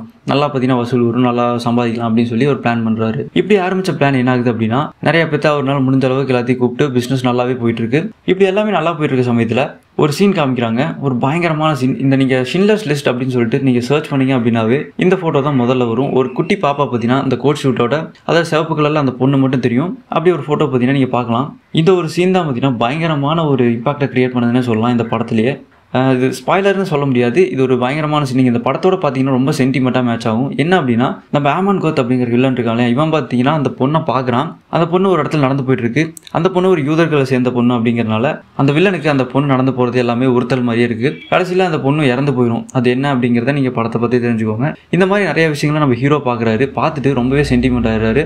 அவர்னால இதெல்லாம் பார்த்தீங்கன்னா பொறுத்துக்கவே முடியல. ரொம்ப கஷ்டமாயிருது. இதுக்கப்புறம் அவர் ஒரு பிளான் பண்ணுறாரு என்னன்னா இந்த யூதர்கள் எல்லாத்தையுமே காப்பாற்றணும் அப்படிங்கிற ஒரு முடிவுக்கு படத்தோட பாதியில தான் அவர் வராரு. கடைசியில் என்ன பண்ணுறாரு அப்படின்னா போலியா ஒரு கம்பெனி உருவாக்கி அதுக்கு எல்லாத்தையும் யூதர்கள் எல்லாத்தையும் கூப்பிட்டு வந்துட்டா அவங்க எல்லாத்தையும் சேஃப்டி பண்ணிடலாம் அப்படின்னு சொல்லி அவர் முடிவு பண்ணுறாரு இன்னொரு பக்கம் என்ன ஆகுதுன்னா ஜெர்மனி போரில் தோக்க போகிறாங்க இப்படி தோக்க போகிறது தெரிஞ்சக்கப்புறம் அங்கே இருக்க யூதர்கள் எல்லாத்தையுமே இனப்படுகொலை பண்ணணும் எல்லாத்தையுமே கொல்லணும் அப்படின்னு சொல்லிட்டு ஆர்டர் பண்ணுறாங்க இதை தெரிஞ்சுக்கிட்ட நம்ம ஹீரோ டக்கு டக்குன்னு என்ன பண்ணுறாருன்னா பணத்தை சேர்த்தி அதுக்கப்புறம் ஒரு லிஸ்ட் எழுதுறாரு. அந்த லிஸ்ட்டுக்கு பேர் தான் இந்த படத்துலேயே வச்சிருக்காங்க ஷின்லஸ் லிஸ்ட் அந்த லிஸ்ட்டில் எழுதியிருக்க எல்லா பேருமே பார்த்தீங்கன்னா அந்த இருக்கிற பர்சன்ஸ் எல்லாத்தையுமே வாங்கணும் அப்படின்னு சொல்லி ஒரு லிஸ்ட்டை கிரியேட் பண்ணி நம்ம வில்லன்ட்ட போய் கொடுக்குறாரு.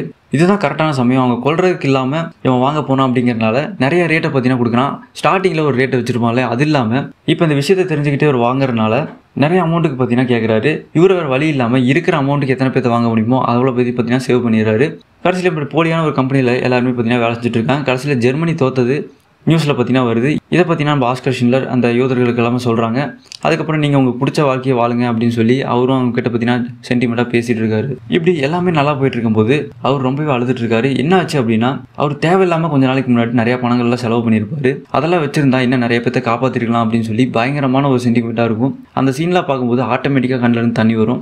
அப்படிப்பட்ட ஒரு மாஸ்டர் பீஸான படம் தான் ஷின்லர்ஸ் லிஸ்ட் இந்த படத்தை இப்போ வரைக்கும் நீங்கள் பார்க்கல அப்படின்னா கண்டிப்பாக மஸ்ட் வாட்ச் பண்ணலாம். ரொம்ப சூப்பரான ஒரு படம். இந்த படத்தை நீங்கள் பார்க்கணும்னு நினச்சிங்க அப்படின்னா மூணு ஓடிடியில் பார்த்தீங்கன்னா அவைலபிளாக இருக்குது அமேசான் பிரைம் நெட்ஃப்ளிக்ஸ் அப்புறம் ஜி ஃபைவ் அப்படின்னு சொல்லிட்டு ரொம்ப ஹார்ட் டச்சிங் மூவினே சொல்லலாம். அப்படிப்பட்ட ஒரு படம் தான். ஆல்ரெடி இந்த படத்தை நீங்கள் கேள்விப்பட்டீங்களா இல்லையா அப்படிங்கிறதையும் நீங்கள் இந்த படத்துக்கு எவ்வளோ ரேட்டிங் கொடுப்பீங்க அப்படிங்கிறதையும் மறக்காமல் கமெண்ட்டில் சொல்லுங்கள்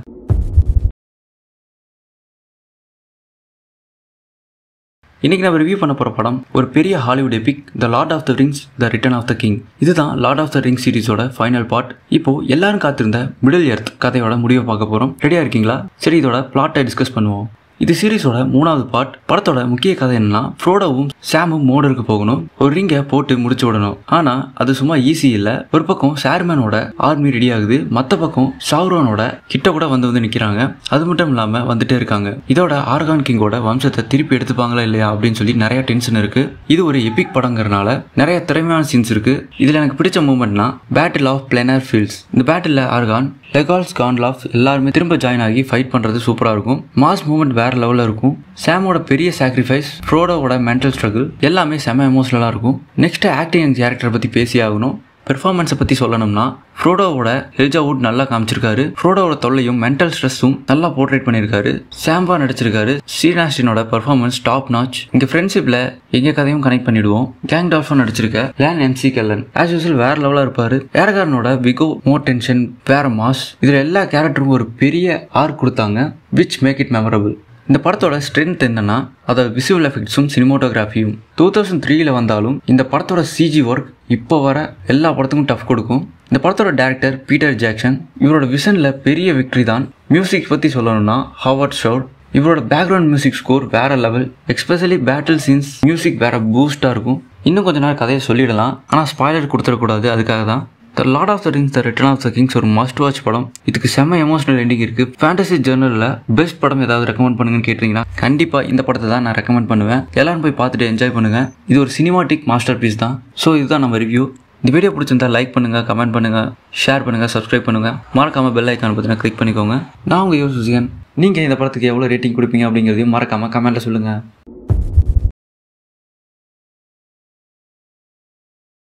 இன்றைக்கி நம்ம ரிவ்யூ பண்ண போகிற படம் எதுன்னு பார்த்தீங்கன்னா ஒரு Hollywood classic Pulp Fiction director Quentin டேரக்டனோட ஒரு மாஸ்டர் பீஸான படம். இந்த படம் இப்போ வரைக்கும் ஒரு கல் கிளாசிக்காக இருக்குது தரமான டயலாக்ஸ் அதிரடி சீன்ஸ் யூனிக்யூ ஸ்டோரி ஸ்ட்ரக்சர் எல்லாமே மிக்ஸ் ஆன ஒரு ஸ்பெஷல் படம்.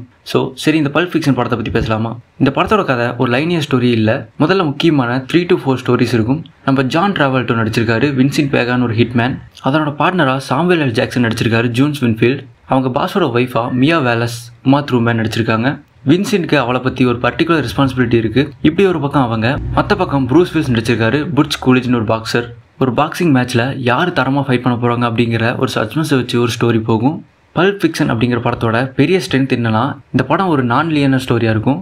டைம் ஜம்ப் பண்ணிடும். ஃப்ளாஷ்பேக்கில் போகும். கொஞ்சம் கன்ஃபியூஷனாக இருக்கும். ஆனால் சூப்பராக கனெக்ட் ஆகும். குவிண்டின் டேரக்டனோட டேரக்ஷன் வேற லெவலில் இருக்குது ஒரு பக்கா காமெடி மற்ற பக்கம் வயலன்ஸ் எல்லாமே மிக்ஸ் பண்ணியிருக்காரு. இதுதான் டேரண்டினோ ஸ்டைல் அப்படிங்கிற மாதிரி இருக்கும். பர்ஃபார்மன்ஸை பற்றி சொல்லணும்னா ஜான் டிராவல்ட்டோட கம்பேக் படம் தான் இது. வின்சின் பேகாவை காமிச்சு செம்ம பர்ஃபார்மன்ஸ் கொடுத்துருக்காரு. சாம்பல் எல் ஜாக்சனோட ஜூல்ஸ் செம்ம மாஸ் கேரக்டர் அவனோட iconic dialogues say what again அப்படின்னு பேசுறதுக்கு இப்போ கூட ஃபேன்ஸ் நிறைய பேர் இருக்காங்க. உமேத்ரூ மேனஸ் மியா வேலஸ் ஒரு ஸ்டைலிஷ் பர்ஃபார்மன்ஸாக இருக்குது அது மட்டும் இல்லை ப்ரூஸ் வில்ஸ் நடிச்சிருக்காரு புட்சா அதோட ஃபைட் சீன்ஸ் வேற லெவலில் இருக்கு. எல்லாருக்கும் ஒரு யூனிக்கு கேரக்டர் கொடுத்துருக்காரு டொரான்டினோ இந்த படம் டைலாக்ஸ் தான் ஹைலைட்டு டொராண்டினோவோட ரைட்டிங் நம்ம காடுக்கு செம ட்ரீட்டு அவங்க ராயல்ஸ் வித் சீஸில் ஒரு பர்கர் கான்வர்சேஷன் பண்ணுறது அது கூட மாசாக இருக்கும். யாருமே கதை பேசுறதில்ல ஆனால் every scenes full of life Samuel ஜாக்சனோட Ezekiel twenty five years seventeen சொல்கிறது கூஸ்பன்ஸ் மூமெண்ட்ஸ் தான். பல் ஃபிக்ஷனுக்கு ரெட்ரோ ஸ்டைலில் மியூசிக் இருக்கும். மிஸ்ரிலுன்னு ஒரு சாங் வரும். இந்த பாட்டு படத்தோட ஸ்டார்டிங்கில் வரும். அண்ட் இமீடியட்லி நோ இது ஒரு டிஃப்ரெண்ட் படம்னு. எவ்ரி சீனுக்கு செட் ஆகிற சாங் செம்ம ஸ்டைலிஷாக இருக்கும். சினிமோட்டோகிராஃபியில் லைட்டிங் கேமரா ஆங்கிள்ஸ் எல்லாமே ஹைலைட் பண்ணிடுவாங்க. டேரக்டர் டேரண்டினோ இதில் எக்ஸ்பெரிமெண்டலாக விசுவல்ஸ் பண்ணியிருக்காரு பல் ஃபிக்ஷன் ஒரு மஸ்ட் வாட்ச் படம். இது ஹாலிவுட்டில் ஏதாவது மோஸ்ட் இன்ஃப்ளூயன்ஸ் படம்னா இதுதான். ஒரு unpredictable story unforgettable character mass dialogues இது எல்லாமே இதில் இருக்கும். If you have not seen this film yet நீ ரொம்ப பெரிய சினிமா எக்ஸ்பீரியன்ஸை மிஸ் பண்ணிட்டீங்க. கண்டிப்பாக பாருங்கள் ஸோ இதுதான் நம்ம ரிவ்யூ பிடிச்சிருந்தா லைக் பண்ணுங்கள் கமெண்ட் பண்ணுங்க ஷேர் பண்ணுங்க சப்ஸ்கிரைப் பண்ணுங்க. மறக்காமல் பெல் ஐக்கான கிளிக் பண்ணிக்கோங்க. நாங்கள் யோசிச்சன் அடுத்த ஒரு ரிவ்யூவில் பார்க்கலாம்.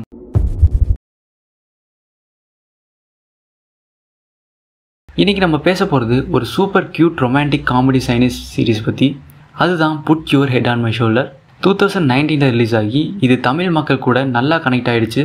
ரெடியாக இருங்க இந்த லைட் ஹார்ட்டட் லவ் ஸ்டோரியை பேசலாம். இந்த சீரீஸ் ஸ்டோரி சி டூமோன்னு ஒரு காலேஜ் ஸ்டூடெண்ட் பற்றி அவங்க கிராஜுவேஷனுக்கு அப்புறம் என்ன பண்ண போகிறாங்கன்னு லைஃப்பில் ரொம்ப கன்ஃபியூஷனாக இருக்காங்க. மற்ற சைடில் கூவிஐ அப்படின்னு ஒரு ஜீனியஸ் பிசிக்ஸ் ஸ்டூடெண்ட்ஸ் இருக்காரு. அவர் கொஞ்சம் இன்ட்ரோவெண்ட்டான கால்மான பையன். ஒரு அன்எக்ஸ்பெக்டட் சுச்சுவேஷனில் இவங்க ரெண்டு பேரும் சேம் ஹவுஸில் இருக்க வேண்டி வருது. அப்புறம் தான் இவங்களுக்கு இடையில ஒரு க்யூட் லவ் ஸ்டோரி ஸ்டார்ட் ஆகும். சி டுமோ கேரக்டர் சூப்பர் லிவ்லியாக இருக்கும். அவங்க காமெடி சென்ஸ் குட்டி குட்டி எமோஷன்ஸ் எல்லாமே செம்ம கூவே ஐயா நடிச்சிருக்க.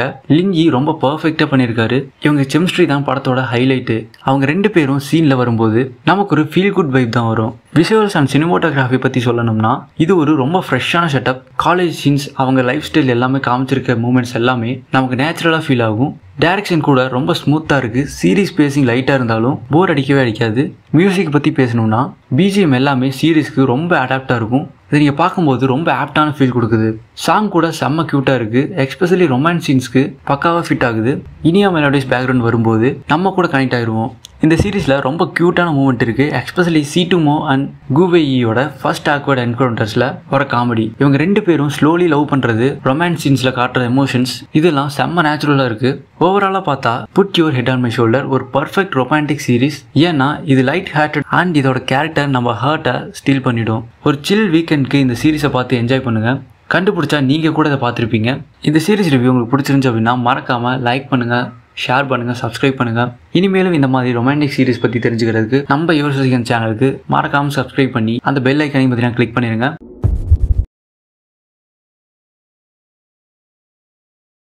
இந்த விட நம்ம எதை பற்றி பார்க்க போகிறோம் அப்படின்னு பார்த்தீங்கன்னா அந்த வாக்கிங் டேட் அப்படின்னு ஒரு ஒரு ஜாம்பி ஹாரர் சீரிஸ் பார்த்தீங்கன்னா ரிலீஸ் பண்ணியிருக்காங்க. கிட்டத்தட்ட ரெண்டாயிரத்தி பத்துலேயே பார்த்தீங்கன்னா அதோட ஃபஸ்ட் எபிசோட்லேருந்து எல்லாம் ரிலீஸ் பண்ண ஆரம்பிச்சிட்டாங்க.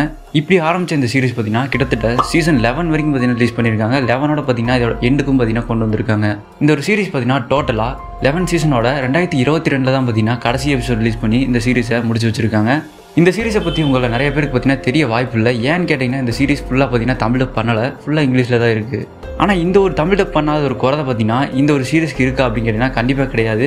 இந்த சீரிஸ் பார்த்தீங்கன்னா ஃபுல்லாக ஒரு டயலாக் பேஸ்டு சீரிஸாக இருந்துச்சுன்னா கூட நம்ம தமிழ் டப் பண்ணாத பற்றி பார்த்தீங்கன்னா கவலைப்படலாம். ஆனால் இது ஃபுல் முழுக்க முழுக்க பார்த்தீங்கன்னா ஒரு ஜாம்பி பேஸ்டு சீரிஸ் அதனால பார்த்தீங்கன்னா இதில் டப்பிங்கு பார்த்தீங்கன்னா நம்ம கவலைப்பட வேண்டியதே இல்லை. உதாரணத்துக்கு சொல்லணும்னு பார்த்தீங்கன்னா ஒரு பேய் படம் பார்க்குறீங்க அப்படின்னா அதுக்கு உங்களுக்கு வசனம் தேவைப்படுதான்னு கேட்டிங்கன்னா கண்டிப்பாக கிடையாது. ஸ்க்ரீன் ப்ளே தான் பார்த்தீங்கன்னா ரொம்ப முக்கியம். அது மாதிரி தான் பார்த்தீங்கன்னா இந்த சீரிஸ்க்கும் பார்த்தீங்கன்னா தேவைப்பட்டிருக்கு. இந்த சீரிஸை பற்றி முழுக்க முழுக்க சொல்லணும் அப்படின்னு பார்த்தீங்கன்னா இது நீங்கள் இப்போ வரைக்கும் நீங்கள் பார்க்காம இருக்கீங்க அப்படின்னா ஒரு பெஸ்ட்டான சீரிஸை மிஸ் பண்ணுறீங்கன்னு சொல்லுவேன். ஏன்னா அந்தளவுக்கு சூப்பரான ஒரு சீரிஸ் பார்க்க பார்க்க பார்த்தீங்கன்னா கதைக்குள்ள அப்படி கொண்டு போகும். ஒவ்வொரு கேரக்டரும் பார்த்தீங்கன்னா புதுசு புதுசாக வந்துட்டே இருப்பாங்க. ஆனால் நம்மளுக்கு தலைவலியாக இருக்குமா அப்படின்னு பார்த்தீங்கன்னா கண்டிப்பாக அப்படியெல்லாம் இருக்காது. ஏன்னா ஒவ்வொரு கேரக்டரும் பார்த்தீங்கன்னா எப்போ பண்ணணுமோ அப்போ தான் கரெக்டாக கொண்டு வந்திருப்பாங்க. அதுவும் இல்லாமல் அவங்களோட கேரக்டர் பார்த்தீங்கன்னா எது எதுக்கு கரெக்டாக கொண்டு வரணுமோ எந்தெந்த கேரக்டருக்குள்ள பார்த்தீங்கன்னா அட்டாச் பண்ணி வைக்கணுமோ அந்தளவுக்கு பார்த்தீங்கன்னா பர்ஃபெக்டாக பண்ணி வச்சிருப்பாங்க. இந்த சீரிஸை பார்த்தீங்கன்னா இங்கிலீஷில் கூட எனக்கு மறக்காமல் பார்க்கலாம். ஏன்னா அந்தளவுக்கு பார்த்தீங்கன்னா சூப்பராக இன்ட்ரெஸ்டிங்காக கொண்டு போகும். இந்த சீரிஸ்க்கு ஐஎம்டிபிலேருந்து பார்த்தீங்கன்னா எயிட் பாயிண்ட் ஒன் ரேட்டிங் கொடுத்துருக்காங்க.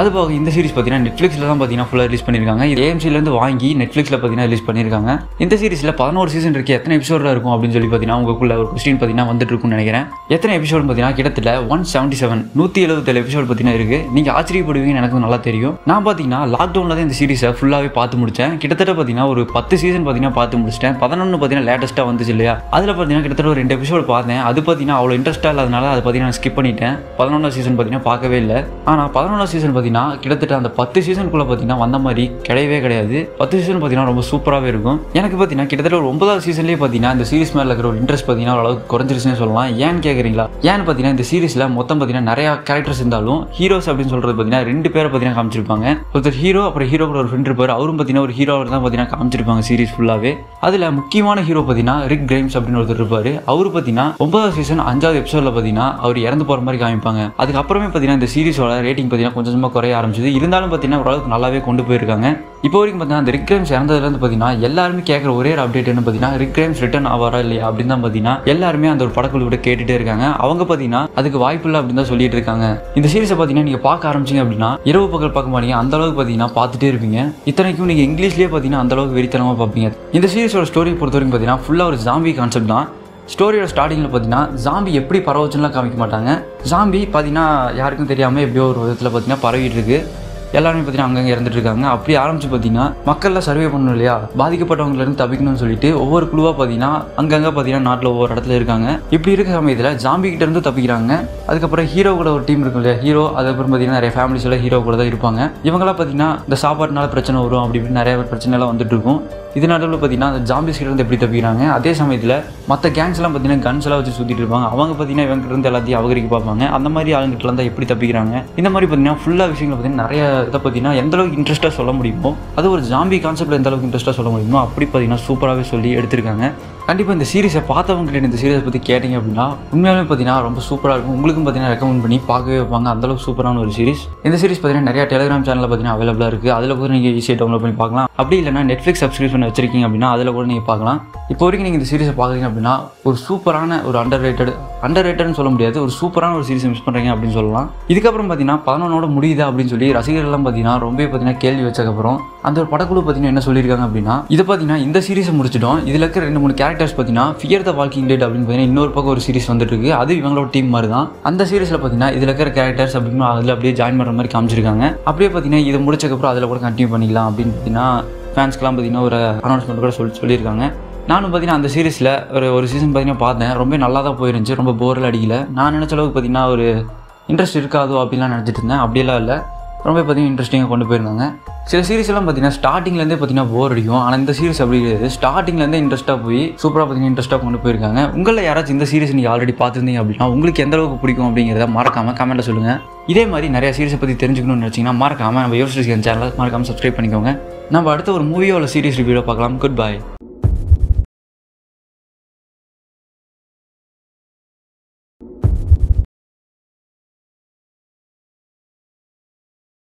ஒரு வெறித்தனமான ஒரு வெப் சீரிஸை பற்றி தான் இந்த வீடியோவில் ரிவ்யூ பார்க்க போகிறோம் அதாவது என்ன வெப் சீரிஸ்னா அலைஸ் இன் பார்டர்லேண்ட் உங்களை நிறைய பேர் பார்த்தீங்கன்னா இந்த சீரிஸோட பேரை கேட்டு பார்த்தீங்கன்னா அதோட ரிவ்யூ பார்க்கலாம் சொல்லி வந்திருப்பீங்க. உண்மையாலுமே பார்த்தீங்கன்னா வேற லெவலான சீரிஸ் நான் இந்த சீரிஸை பார்த்தீங்கன்னா ஒரு கொரியன் சீரிஸ் நினச்சி தான் இந்த சீரிஸை பார்க்க ஆரம்பிச்சேன். அப்புறம் தான் தெரிஞ்சது ஒரு ஜாப்பனீஸ் சீரிஸ் அப்படிங்கிறது. இந்த சீரிஸில் பார்த்தீங்கன்னா மொத்தமாக ரெண்டு சீசன்ஸ் பார்த்தீங்கன்னா ரிலீஸ் பண்ணியிருக்காங்க. ரெண்டுமே இங்கிலீஷில் மட்டும்தான் இருக்குது ஏன்னா தமிழ் பார்த்தீங்கன்னா பண்ணல. ஒவ்வொரு சீசன்லையும் பார்த்தீங்கன்னா எட்டு எட்டு எபிசோட் ரிலீஸ் பண்ணியிருக்காங்க. மொத்தம் பதினாறு எபிசோட்ஸ் பார்த்தீங்கன்னா இந்த சீசனில் அவைலபிளாக இருக்குது இந்த ஒரு சீரிஸ்க்கு ஐஎம்டிபி வந்து பார்த்தீங்கன்னா செவன் பாயிண்ட் செவன் ரேட்டிங் கொடுத்துருக்காங்க. ஃபுல்லாகவே பார்த்தீங்கன்னா இந்த சீரிஸை நெட்ஃப்ளிக்ஸில் தான் ரிலீஸ் பண்ணியிருக்காங்க. ரத்தம் தெறிக்க தெறிக்க பார்த்தீங்கன்னா ஒரு சீரிஸை பார்க்கணும். ஒரு பயங்கரமான ஒரு கேம் சேலஞ்சிங் சீரிஸை பார்க்கணும் அப்படின்னு இந்த சீரிஸ் நீங்கள் மறக்காமல் ட்ரை பண்ணலாம். வாங்க இந்த சீரிஸோட ஸ்டோரி என்னங்கிறத குட்டியாக பார்த்துடலாம். இது ஒரு அலைசின் பார்டர்லேண்டில் ஃபஸ்ட் சீசனில் என்ன நடக்கும் அப்படின்னு பார்த்தீங்கன்னா நம்ம ஹீரோவும் அவங்களோட ஃப்ரெண்ட்ஸும் சேர்ந்து உயிர் வாழ்றதுக்காக பார்த்தீங்கன்னா ஒரு கேமில் மாட்டிக்குவாங்க. அந்த கேமில் பார்த்தீங்கன்னா ஒவ்வொரு கேமும் கிட்டத்தட்ட நீங்கள் இதுக்கு முன்னாடி பார்த்த ஸ்விட் கேம் பார்த்தீங்கன்னா கண்டிப்பாக நிறைய பேர் பார்த்துருப்பீங்க. அதில் வர மாதிரி தான் பார்த்தீங்கன்னா இதுலேயும் ட்ரை பண்ணியிருக்காங்க. அதிலே கொஞ்சம் பார்த்தீங்கன்னா இன்னும் கொஞ்சம் டிஃப்ரெண்ட்டாக பார்த்தீங்கன்னா ட்ரை பண்ண ஒரு சீரிஸ் தான் அலைசின் பாடலில் இந்த சீரிஸில் வர கேம்ஸ் எல்லாம் பார்த்தீங்கன்னா கார்ட்ஸை பேஸ் பண்ணியிருக்கும். எல்லாமே பார்த்தீங்கன்னா டிஃப்ரெண்ட் கேம்ஸாக இருக்கும். இதில் வர ஒவ்வொரு கேம்ஸும் பார்த்தீங்கன்னா குறிப்பிட்ட டைமுக்குள்ளே பார்த்தீங்கன்னா முடிச்சாகணும். இல்லைனா செத்துருவாங்க. அந்த அளவுக்கு பார்த்தீங்கன்னா பயங்கரமாக ஒரு ரத்தம் தெரிக்க தெரிக்க ஒரு சீரிஸ் ஒரு பெஸ்ட்டாக கேம் சேலஞ்சிங் சீரிஸ் பார்க்கணும்னு வச்சிங்கன்னா கண்டிப்பாக இந்த சீரிஸ் நீங்கள் ட்ரை பண்ணலாம். ஒருவேளை இந்த சீரிஸ் நீங்கள் எப்படி பார்க்குறது அப்படிங்கிறத நீங்கள் யோசிச்சிருந்தீங்க அப்படின்னா நம்ம டெலிகிராம் சேனலே பார்த்தீங்கன்னா அந்த சீரிஸ் அவைலபிளாக இருக்குது இப்போயே சொல்லிடுறேன். முழுக்க முழுக்க இங்கிலீஷில் தான் பார்த்தீங்கன்னா அவைலபிளாக இருக்குது கண்டிப்பாக இங்கிலீஷில் பார்க்கலாம் அப்படின்னு நினைக்கிறவங்க நம்ம டெலிகிராம் சேனலில் போய் டவுன்லோட் பண்ணி பார்த்துக்கோங்க. ஒரு ஆல்ரெடி இந்த சீரிஸ் நீங்கள் பார்த்துருந்தீங்க அப்படின்னா உங்களுக்கு எந்த அளவுக்கு பிடிச்சிருந்துச்சு அப்படிங்கிறத கமெண்ட்டில் சொல்லிடுங்க. இதே மாதிரி நிறைய சீரிஸ் பற்றி தெரிஞ்சிருக்கு. நம்ம சேனலில் மறக்காமல் சப்ஸ்கிரைப் பண்ணிக்கோங்க. வேறு ஏதாச்சும் மூவி பற்றி பேசணும் இல்லை சீரிஸை பற்றி பேசணும்னு நினச்சிங்களா? அது என்ன மூவி அப்படிங்கிறதையோ கமெண்ட்டில் சொல்லுங்கள் த ஈகிளை அப்படிங்கிற டூ தௌசண்ட் எயிட்டில் ரிலீஸ் ஆன த்ரில்லர் ஆக்ஷன் கேட்டகரி மூவி தான் பார்க்க போகிறோம் இந்த படத்துக்கு ஐஎம்டிபிலேருந்து சிக்ஸ் பாயிண்ட் சிக்ஸ் ரேட்டிங் கொடுத்துருக்காங்க அவுட் ஆஃப் டென்க்கு படத்தோட duration one hour fifty eight minutes பார்த்தீங்கன்னா படத்தோட டியூரேஷனாக இருக்குது இந்த படம் எப்படி இருக்க போகுது எப்படி இருக்கும் அப்படிங்கிறத சும்மா ஷார்ட்டாக சொல்லணும் அப்படின்னா படம் பார்க்க ஆரம்பித்து உக்காந்தீங்க அப்படின்னா முடிகிற வரைக்கும் அவ்வளோ பரபரப்பாக செம்மையாக கொண்டு போயிருப்பாங்க.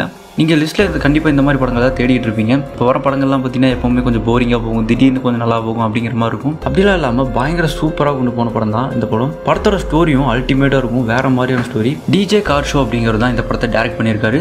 படத்தோட box office one seventy eight point eight million dollars பார்த்தீங்கன்னா இந்த படம் கலெக்ட் பண்ணியிருக்கு.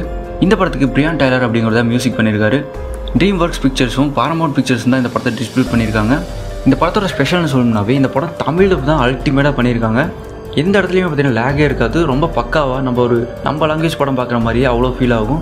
இந்த படத்தை நீங்கள் பார்க்கணும்னு நினச்சிங்கன்னா பார்த்தீங்கன்னா கிட்டத்தட்ட மூணு ஓடிடியில் அவைலபிளாக இருக்குது Google Play Movies and TVs அப்புறம் Apple TV Amazon Prime Video அப்படின்னு சொல்லிட்டு இந்த மூணு ஓடிடிலையும் பார்த்தீங்கன்னா அவைலபிளாக இருக்குது நீங்கள் இதில் செக் பண்ணி பார்க்கலாம். ரொம்ப சூப்பரான ஒரு மூவி படத்தோட ஸ்டோரிகளை போகலாம் ஜெரிஷா அப்படிங்கிறது தான் இந்த படத்தோட ஹீரோவை காமிச்சிருப்பாங்க. அதுக்கப்புறம் ராஷல் அப்படிங்கிறவரும் இந்த படத்தோட ஹீரோயின் மாதிரி காமிச்சிருப்பாங்க. படத்தோட ஹீரோ இருக்கார் இல்லையா ஜெரிஷாவ் இவரோட அண்ணன் பயங்கரமான டேலண்டடான பையன். அண்ணங்கிறதுக்கு தனி கேரக்டரில் வைக்காம நம்ம ஜெரிஷாவையே டபுள் ஆக்ட் மாதிரி காமிச்சிருப்பாங்க. இவரோட அண்ணன் யாருன்னா பயங்கரமான டேலண்டடான பாய் இல்லையா? இவர் ஆர்மி ஃபோர்ஸில் சீக்ரெட் ஏஜென்சியில் பார்த்தீங்கன்னா வேலை செஞ்சுட்டு இருந்திருப்பாரு. ஏதோ ஒரு காரணத்தினால இவர் பார்த்தீங்கன்னா இறந்துருப்பாரு. என்ன காரணம் அப்படிங்கிறத ஸ்டார்டிங்கில் காமிக்காம அப்படியே படத்தை பார்த்தீங்கன்னா கொண்டு போயிட்டு இருக்காங்க. கடைசியில் என்ன ஆகுது அப்படின்னா ஜெரிஷா பார்த்தீங்கன்னா அவரோட இறுதி சடங்கு பார்த்தீங்கன்னா போகிறாரு இப்படி போயிட்டு பயங்கரமாக அழுதுட்டு அவங்க என்னென்ன பார்த்தீங்கன்னா பார்த்து பயங்கரமாக பார்த்தீங்கன்னா கண்ணீர் ஒடிச்சிட்டு வராரு. இப்படி அந்த இறுதி சடங்கு முடிஞ்சு அவர் வீட்டுக்கு போகலான்னு சொல்லிட்டு அவர் அவங்க அப்பா அம்மா கூட எல்லாம் இல்லாமல் தனியாக ஒரு ரூம் எடுத்து ஒரு இடத்துல ஒர்க் போயிட்டு இருப்பாரு.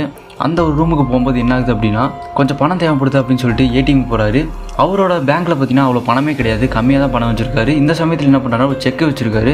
அந்த செக்கை வச்சு பணம் எடுக்கலாம் அப்படின்னு சொல்லிட்டு ஏடிஎம்ல பணம் எடுக்கும்போது என்ன ஆகுது அப்படின்னா கிட்டத்தட்ட அவர் அக்கௌண்ட்டில் எக்கச்சக்கமான மில்லியன் டாலர்ஸ் பார்த்தீங்கன்னா பணம் இருக்குது எடுக்கும்போது எல்லாமே பார்த்தீங்கன்னா கொட்டுற மாதிரி பணம் அப்படியே வித்ட்ரா ஆகுது. இவரும் கொஞ்சம் பதட்டமாகிறாரு. பின்னாடி பார்த்தீங்கன்னா நிறைய ஆட்கள் நின்றுருக்கனால அந்த பணத்தை எடுத்துட்டு அதுக்கப்புறம் அவர் ரூமுக்கு போகிறாரு ரூமுக்கு போய் பார்த்தா அங்கே ஒரு அன்னோன் கால் வருது. யார் அப்படின்னா ஒரு பொண்ணு பேசுது அந்த காலில் அந்த பொண்ணு யார் அப்படிங்கிறத நம்ம காமிக்கல. நம்மளுக்கும் பார்த்தீங்கன்னா வாய்ஸ் மட்டும் தான் காமிக்கிறாங்க. ஹீரோக்கு என்ன அளவுக்கு தெரியுதோ அதே அளவுக்கு பார்த்தீங்கன்னா ஆடியன்ஸுக்கு தெரியுற மாதிரி வச்சிருக்காங்க. இப்படி அந்த பொண்ணு பார்த்தீங்கன்னா ஒரு விஷயத்த செய்ய சொல்லுது. இவன் அதை பார்த்தீங்கன்னா செய்யறக்க மறுக்கிறான். அவன் ரூம்குள்ளே போய் பார்த்தா எக்கச்சக்கமான கன்ஸ் பார்த்தீங்கன்னா இருக்கு. எல்லா கன்ஸும் எப்படி வந்துச்சு அப்படிங்கிறதே அவருக்கு தெரியல. கடைசியில் அந்த கன்ஸ் எல்லாம் வச்சிருந்ததுக்கு அவரை பார்த்தீங்கன்னா அந்த ஆர்மிலேருந்து வந்து அரெஸ்ட் பண்ணிட்டு போயிடுறாங்க. இதுக்கப்புறம் தான் படமே செம்ம இன்ட்ரெஸ்டிங்காக பார்த்தீங்கன்னா ஆரம்பிக்கும். வேற மாதிரி பார்த்தீங்கன்னா ஸ்டோரி அப்படியே ரன் ஆகும். அந்த ஃபோனில் பேசின பொண்ணு யார் அப்படிங்கிறதையும் படத்தோட பாதியில் தான் சொல்லியிருப்பாங்க. அந்த அளவுக்கு பரபரப்பாக கொண்டு போவாங்க. கடைசியில் அந்த பொண்ணு யாராக இருக்கும் அப்படின்னா படத்தோட பேரில் சொன்ன இல்லையா ஈகிளை அப்படிங்கிற ஈகிளை அப்படின்னு ஆர்மியோட ஒரு சீக்ரெட் ப்ராஜெக்ட் ஈகிளை அப்படிங்கிறது ஒரு வந்து ஆர்டிஃபிஷியல் இன்டெலிஜென்ட் மாதிரி அதனால எல்லா வகையான சிஸ்டத்தையும் ஆக்சஸ் பண்ண முடியும். ஏன்னா இந்த ஈகிளை அப்படிங்கிறதே ஒரு சிஸ்டம் தான். இப்போ வரைக்கும் நடைமுறைக்கே வரப்படாத ஒரு டெஸ்டிங்கில் இருக்கக்கூடிய ஒரு கேஜெட் தான் இந்த ஈகிளை இது என்ன பண்ணுறாங்க அப்படின்னா யாருக்குமே தெரியாமல் ரகசியமாக இந்த ப்ராஜெக்ட் நடத்திட்டு வராங்க இல்லையா? இந்த ஒரு மிஷின் என்ன பண்ணுது அப்படின்னா அதோட இஷ்டத்துக்கு தேவையில்லாமல் பார்த்தீங்கன்னா நிறைய பேரை கண்ட்ரோல் பண்ணி ஒரு சட்டவிரோதமான செயலையும் தீவிரவாத செயலையும் பண்ண வச்சு அந்த நாட்டோட பிரதமரையே மாற்றுறதுக்காக ஒரு வகையான பிளான் போட்டு அந்த பிளானை ஹீரோவை செய்ய வைக்குது. இப்படிப்பட்ட ஒரு மாஸ்டர் பீஸான ஒரு பிளானை அந்த மிஷின் நம்ம ஹீரோ வச்சு முடிச்சுதா இல்லையா? ஆனால் அந்த மிஷினையே நம்ம ஹீரோ முடிச்சுக்கிட்டாரா இல்லையா அப்படிங்கிறது எல்லாத்தையுமே ஒரு வித்தியாசமான கேட்டகரி ஒரு சூப்பரான ஆக்ஷன் பேக்டாக சொன்ன ஒரு மூவி தான் இந்த ஈகிளை ஒன் ஆஃப் த பெஸ்ட் மூவினு சொல்லலாம். இந்த படத்துக்கு ரேட்டிங் எப்படி சிக்ஸ் பாயிண்ட் சிக்ஸ் போச்சு அப்படிங்கிறது எனக்கே தெரியல. கிட்டத்தட்ட இந்த படத்துக்கு நைன் ரேட்டிங்கே கொடுக்கலாம். அந்த அளவுக்கு ஒரு பக்காவான ஒரு மூவி இப்போ வரைக்கும் பார்க்காம இருக்கீங்க அப்படின்னா கண்டிப்பாக மஸ்ட் வாட்ச் பண்ணுங்க. ஒருவேளை இந்த படத்தை பற்றி உங்களுக்கு ஆல்ரெடி தெரியும் அப்படின்னா உங்களுக்கு எந்த அளவுக்கு இந்த படம் பிடிக்கும் அப்படிங்கிறத சொல்லுங்க. இதே மாதிரி நிறைய மூவிஸை பற்றி பார்க்குறக்கு நம்ம சேனலை மறக்காம சப்ஸ்கிரைப் பண்ணுங்க.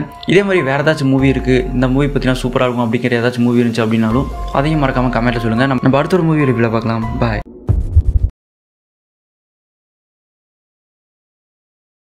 அண்டர் ரேட்டட் வெப் சீரிஸை பற்றி தான் இந்த வீடியோவில் பார்க்க போகிறோம் உண்மையாலுமே பார்த்தீங்கன்னா வேறு லெவலான சீரிஸ் எதனால் அப்படி சொல்கிறேன்னு பார்த்தீங்கன்னா இந்த சீரிஸ் அதிகமாக பார்த்தீங்கன்னா யாருக்குமே தெரிஞ்சிருக்காது. பட் தெரிஞ்சவங்களுக்கெல்லாம் பார்த்தீங்கன்னா கேட்டிங்க அப்படின்னா இந்த சீரிஸை பற்றி புகுந்து தள்ளுவாங்க. அந்தளவுக்கு பார்த்தீங்கன்னா ரொம்ப சூப்பராகவே இருக்கும். இந்த சீரிஸ் பார்த்தீங்கன்னா டோட்டலாக த்ரீ சீசன் பார்த்தீங்கன்னா ரிலீஸ் பண்ணியிருக்காங்க. ரெண்டாயிரத்தி பதிமூணுலேருந்து பதினஞ்சு வரைக்கும் பார்த்தீங்கன்னா கிட்டத்தட்ட மூணு சீசன் ஒவ்வொரு சீசனுக்கு பார்த்தீங்கன்னா பதிமூணு எபிசோட் பார்த்தீங்கன்னா ரிலீஸ் பண்ணியிருக்காங்க.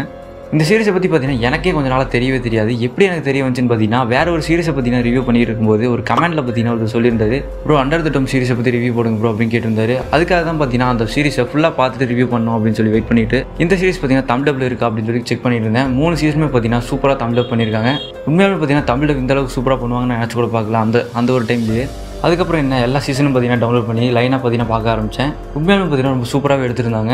கான்செப்ட் பார்த்தீங்கன்னா உண்மையாலுமே வேறு லெவலில் இருக்கும். இப்படியெல்லாம் யோசிக்கிறீங்களா அப்படிங்கிற அளவுக்கு பார்த்தீங்கன்னா ரொம்ப சூப்பராக யோசிச்சிருந்தாங்க. இந்த சீரிஸ்க்கு ஐஎம்டிபிலேருந்து பார்த்தீங்கன்னா சிக்ஸ் பாயிண்ட் ஃபைவ் ரேட்டிங் கொடுத்துருக்காங்க. நீங்கள் என்ன யோசிக்கிறீங்கன்னு புரியுது. இந்த சீரிஸோட ஸ்டோரி என்னவா இருக்கும் அப்படின்னு தானே யோசிக்கிறீங்க.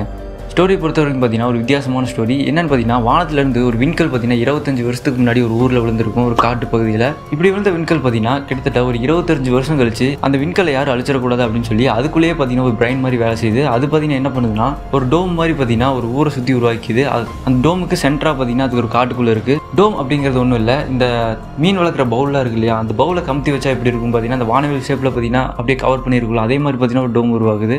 இந்த டோம்னால என்ன பிரச்சனை வருது அப்படின்னு பார்த்தீங்கன்னா அந்த டோம்னால உள்ளே இருக்கிறவங்க வெளியே போக முடியாது வெளியே இருக்கிறவங்க உள்ளவே வர முடியாது. இந்த டோம்க்கு உள்ளே இருக்கிறவங்க வெளியே இருக்கிறவங்க கிட்ட பார்த்தீங்கன்னா காண்டாக்ட் பண்ண ட்ரை பண்ணாங்க அப்படின்னா சுத்தமாக பார்த்தீங்கன்னா எல்லா சிக்னலுமே டோட்டலாக கட் ஆயிருக்கும். அந்த டோமுக்கு பக்கத்தில் போய் நின்றுட்டு வெளியே இருக்கிறவங்க கூட பேசினா கூட பார்த்தீங்கன்னா ஒன்றுமே துளி சவுண்டு கூட கேட்காது. இப்படி இருக்கிற சமயத்தில் பார்த்தீங்கன்னா உள்ள டோம்குள்ளே பார்த்தீங்கன்னா ஹீரோ அதுக்கப்புறம் பார்த்தீங்கன்னா வில்லன்ஸ்லேருந்து எல்லாருமே உள்ளதாக இருக்காங்க.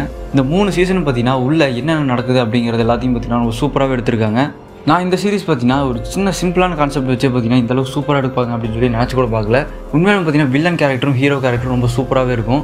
இந்த சீரிஸ் பார்க்கலாமா வேணாமா அப்படிங்கிறீங்கன்னா கண்டிப்பாக பார்க்கலாம். ரொம்ப சூப்பரான ஒரு சீரிஸ் இந்த சீரிஸ் பார்த்தீங்கன்னா ஆம்சன் பிரைம்லேயே இருக்குது அதில் கூட பார்த்தீங்கன்னா நீங்கள் பார்க்கலாம். இந்த மாதிரியான பார்த்தீங்கன்னா நிறைய சீரிஸ் பார்த்தீங்கன்னா எனக்கு தெரியாது உங்களுக்கும் தெரிஞ்சிருக்கலாம். அந்த மாதிரி சீரிஸ் எல்லாம் பார்த்தீங்கன்னா மறக்காம கமெண்ட்ல சொல்லுங்கள் அதை பார்த்தீங்கன்னா அடுத்த ஒரு ரிவியூவில் பார்த்தீங்கன்னா நம்ம சொல்லலாம். ஆல்ரெடி நீங்கள் எந்த ஒரு சீரிஸ் பார்த்துருந்தீங்க அப்படின்னா உங்களுக்கு எந்த அளவுக்கு பிடிச்சிருந்துச்சு அப்படிங்கிறத மறக்காம கமெண்ட்ல சொல்லுங்கள் நம்ம அடுத்த ஒரு ரிவியூவில் பார்க்கலாம். Good bye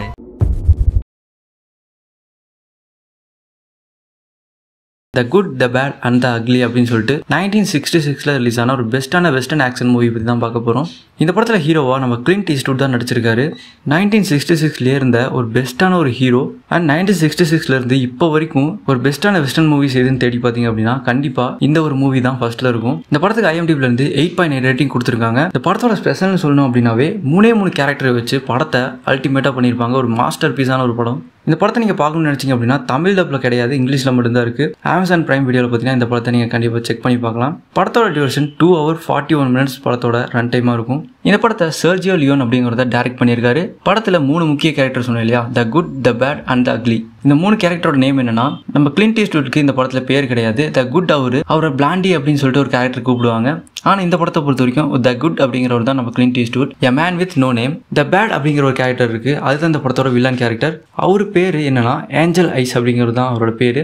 அந்த கேரக்டரோட ரியல் நேம் என்னென்னா லீவான் கிளீஃப் அப்படிங்கிறது தான் அந்த வில்லனோட பேர். நெக்ஸ்ட் மூணாவது ஒரு கேரக்டர் இருக்கு இல்லையா? த அக்லி அதுதான் அந்த படத்தோட வில்லன் ப்ளஸ் காமெடி கேட்டகரி ஒரு கேரக்டர் இவரோட ரியல் நேம் என்னன்னா இலி வலாக் அப்படிங்கிற பேர். ஆனால் படத்தில் இவரோட பேர் என்னன்னா டூகோ இந்த படத்தோட ஒன்லைன் ஸ்டோரி என்னன்னு பார்க்கலாம். இந்த மூணு முக்கியமான கேரக்டர் என்ன பண்ணுவாங்க அப்படின்னா இந்த படத்தில் ஒரு முக்கியமான ஒரு புதையலை தேடி இந்த மூணு பேர் அடிச்சுக்கிட்டு போய் சேருவாங்க. கடைசியில் இந்த புதையில யார் கண்டுபிடிச்சா அப்படிங்கிறது தான் இந்த படத்தோட ஃபுல் ஸ்டோரி இந்த படத்தோட ஸ்டோரி என்ன அப்படிங்கிறத கொஞ்சம் பெருசாக பார்க்கலாம். கிளின் ஈஸ்ட்வுட் இந்த படத்தோட ஹீரோ இவர் எப்படிப்பட்ட ஒரு கேரக்டர்னா ரொம்ப ஸ்டைலிஷான அப்புறம் சைலண்டான ஒரு பையன். ஆனால் பயங்கரமாக சொல்லக்கூடிய ஆள். இந்த மூணு பேருமே பயங்கரமாக கன் ஷூட்டில் பர்ஃபெக்டாக பண்ணக்கூடிய ஆளுங்க தான். இந்த அக்லி கேரக்டர் காமெடி கேரக்டர் இல்லையா? என்ன பண்ணுவாங்கன்னா நம்ம ஹீரோ இந்த அக்லி கேரக்டர் பார்த்தீங்கன்னா நிறைய ஊரை தேடிட்டு இருப்பாங்க. நிறைய இடத்துல திருட்டு பண்ணுறனால ஒரு சரியான திருடன் கேரக்டர் தான் இந்த அக்லி இவன் என்ன பண்ணுவான் அப்படின்னா நிறைய இடத்துல திருடினால இவனை பிடிச்சி தரவனுக்கு இவ்வளோ அமௌண்ட் அப்படின்னு சொல்லிட்டு நிறைய இடத்துல பேனர் போஸ்டர்லாம் ஒட்டியிருப்பாங்க. இதை பார்த்துட்டு நம்ம ஹீரோ என்ன பண்ணுறாருன்னா இவங்ககிட்ட பேரம் பேசி இவனை பிடிச்சி தர மாதிரி பிடிச்சி இருந்துட்டு காசை வாங்கிக்குவார். கடைசியில் லாங்லேருந்து இந்த குற்றவாளிகள்லாம் அந்த ஊரில் என்ன பண்ணுவாங்க அப்படின்னா இந்த திருடனுங்க எல்லாத்தையுமே தூக்கில் மாட்டி விட்டுருவாங்க. இப்படி மாட்டி கடைசியில் குதிரையை பார்த்தீங்கன்னா உட்கார வச்சிருப்பாங்க. அந்த குதிரையை விரட்டி விட்டுட்டு அதுக்கப்புறம் தூக்கில் தொங்குற மாதிரி பண்ணுவாங்க. இப்படி பண்ணுற சமயத்தில் நம்ம ஹீரோ என்ன பண்ணுவார் அப்படின்னா கரெக்டாக அந்த கயிறை பார்த்து ஷூட் பண்ணிடுவார் நம்ம ஆள் தான் கில்லியாச்சு சொல்கிறதுல கரெக்டாக சுட்டோடனே அந்த குதிரையோட நம்ம வில்லன் எஸ்கேப் போயிடுவார் கடைசியில் எங்கேயோ ஒரு இடத்துல பார்த்தீங்கன்னா மீட் பண்ணி அந்த காசில் கொஞ்சம் கொஞ்சம் பிரிச்சுக்குவாங்க. இப்படி தான் பண்ணிட்டு இருக்காங்க ஒரு கட்டத்தில் என்ன ஆகுது அப்படின்னா நம்ம ஹீரோ நிறைய காசு எடுத்துக்கிட்டு இப்படி பண்ணிட்டு இருப்பாரு இது நம்ம காமெடி கேரக்டருக்கு பிடிக்காது. நம்ம அக்லி கேரக்டருக்கு அப்புறம் ரெண்டு பேருக்குள்ள சின்ன பிரச்சனை வந்துடும் நம்ம ஹீரோ அவன் அடிச்சு போட்டு கிளம்பிடுவாரு. அதுக்கப்புறம் நம்ம அக்லி கேரக்டர் அவனை தேடி போவான். கரெக்டாக கண்டுபிடிச்சு அதுக்கப்புறம் நம்ம ஹீரோவை பழி வாங்குவான். பாலைவனத்தில் பயங்கரமாக தண்ணி கூட கொடுக்காம கிட்டத்தட்ட பத்து இருபது கிலோமீட்டர் பார்த்தீங்கன்னா நடக்க வைப்பான். அந்த மாதிரி பார்த்தீங்கன்னா நிறைய பழி வாங்குவான். இதுக்கப்புறம் கொஞ்சம் சீனில் ஒரு குறிப்பிட்ட ஆளுங்களுக்கு மீட் பண்ணுவாங்க. இப்படி மீட் பண்ணும்போது என்ன ஆகும் அப்படின்னா ஒருத்தன் புதையில இருக்க விஷயத்த சொல்லிட்டு இருப்பான். இந்த விஷயத்த நம்ம ஹீரோ கேட்டுருவாரு. இந்த அக்லி கேரக்டர் பார்த்தீங்கன்னா கேட்டிருக்க மாட்டாரு. அதுக்கப்புறம் அந்த புதையில இருக்க விஷயத்த சொன்னவன் செத்து போயிடுவான். இப்போ இறந்தக்கப்புறம் நம்ம அக்லிக்கு வேற வழி இல்லை. நம்ம ஹீரோ தான் பார்த்தீங்கன்னா காப்பாற்றி ஆகணும் அவனுக்கு தான் அந்த விஷயம் தெரியாதுங்கனால இப்படி ரெண்டு பேரும் பார்த்தீங்கன்னா அப்புறம் க்ளோஸ் ஆயிடுறாங்க. அடுத்து ஒரு வில்லன் கேரக்டர் இவன் எப்படிப்பட்ட கேரக்டரை காமிக்கிறாங்க அப்படின்னா ஒரு பயங்கரமான ரக்கடான ஆளு அதே சமயத்தில் கொஞ்சம் டிஃப்ரெண்ட்டான ஆளுன்னு சொல்லலாம். எப்படின்னா ஒருத்தன் நம்ம வில்லங்கிட்ட காசு கொடுத்து இவனை கொல்லணும்னு சொல்லி ஒரு அளவு காசு கொடுக்குறான் அப்படின்னா அவன் கொல்ல போவார். கடைசியில் அங்கே இருக்கவன் என்ன கொலை சொன்னவனை கொல்லு அப்படின்னு சொல்லிட்டு அதை விட அமௌண்ட் அதிகமாக தருவான் இல்லையா? அதையும் வாங்கிக்கிட்டு முன்னாடி ஒருத்தன் ஒரு அமௌண்ட் கொடுத்து இவனை கொலை சொல்லியிருப்பா இல்லையா? அதுக்காகவே என்ன பண்ணுவார் அப்படின்னா இந்த காசையும் வாங்கிட்டு இவனையும் கொண்டு அதுக்கப்புறம் இவங்ககிட்ட காசு வாங்கியிருப்பாள் இந்த காசு வாங்கினதுக்காக நேர்மையாக இருக்கணும்னு சொல்லிட்டு நிறைய காசு கொடுத்தானே சொல்லி இவனையும் கொண்டுருவார் இப்படி ரெண்டு பக்கமும் காசு வாங்கிட்டு ரெண்டு பேர்த்தையும் கொள்ற ஒரு ரகடான ஒரு ஆள் தான் நம்ம வில்லன் ஏஞ்சலைஸ் கடைசியில் ஒரு வழியாக நம்ம வில்லனுக்கும் அந்த புதையலை பற்றி தெரிய வருது. அதுக்கப்புறம் என்ன பண்ணுறாங்க அப்படின்னா அந்த மூணு பேரும் சேர்ந்து அந்த புதையலை தேடி கண்டுபிடிச்சி போவாங்க. அதுக்கப்புறம் இந்த புதையல் யாருக்கு கிடச்சிது? கடைசியில் யார் தான் உயிரோடு இருந்தா அப்படிங்கிற எல்லாத்தையுமே ஒரு வெஸ்டர்ன் மூவி ஸ்டைலில் சொன்ன ஒரு படம் தான் the good the bad and the ugly படம் ஃபுல்லாகவே ரொம்ப ரொம்ப ஸ்லோவாக தான் போகும். ஆனால் பொறுமையாக பார்த்தீங்க அப்படின்னா செம்மையான ஒரு ஃபீல் கொடுக்கும் இந்த படம். ஒரு பெஸ்ட்டான வெஸ்டர்ன் மூவி இப்போ வரைக்கும் பார்க்காம இருக்கீங்க அப்படின்னா கண்டிப்பாக மஸ்ட் வாட்ச் பண்ணுங்கள் இப்போ வரைக்கும் நீங்கள் ஏதாச்சும் பெஸ்ட்டான வெஸ்டர்ன் மூவி பார்த்துருந்தீங்க அப்படின்னா அது என்ன மூவி அப்படிங்கிறத மறக்காமல் சொல்லுங்கள் இதே மாதிரி நிறைய வீடியோ பார்க்குறதுக்கு நம்ம சேனலை மறக்காமல் சப்ஸ்கிரைப் பண்ணுங்கள் நம்ம அடுத்த ஒரு வீடியோவில் பார்க்கலாம்.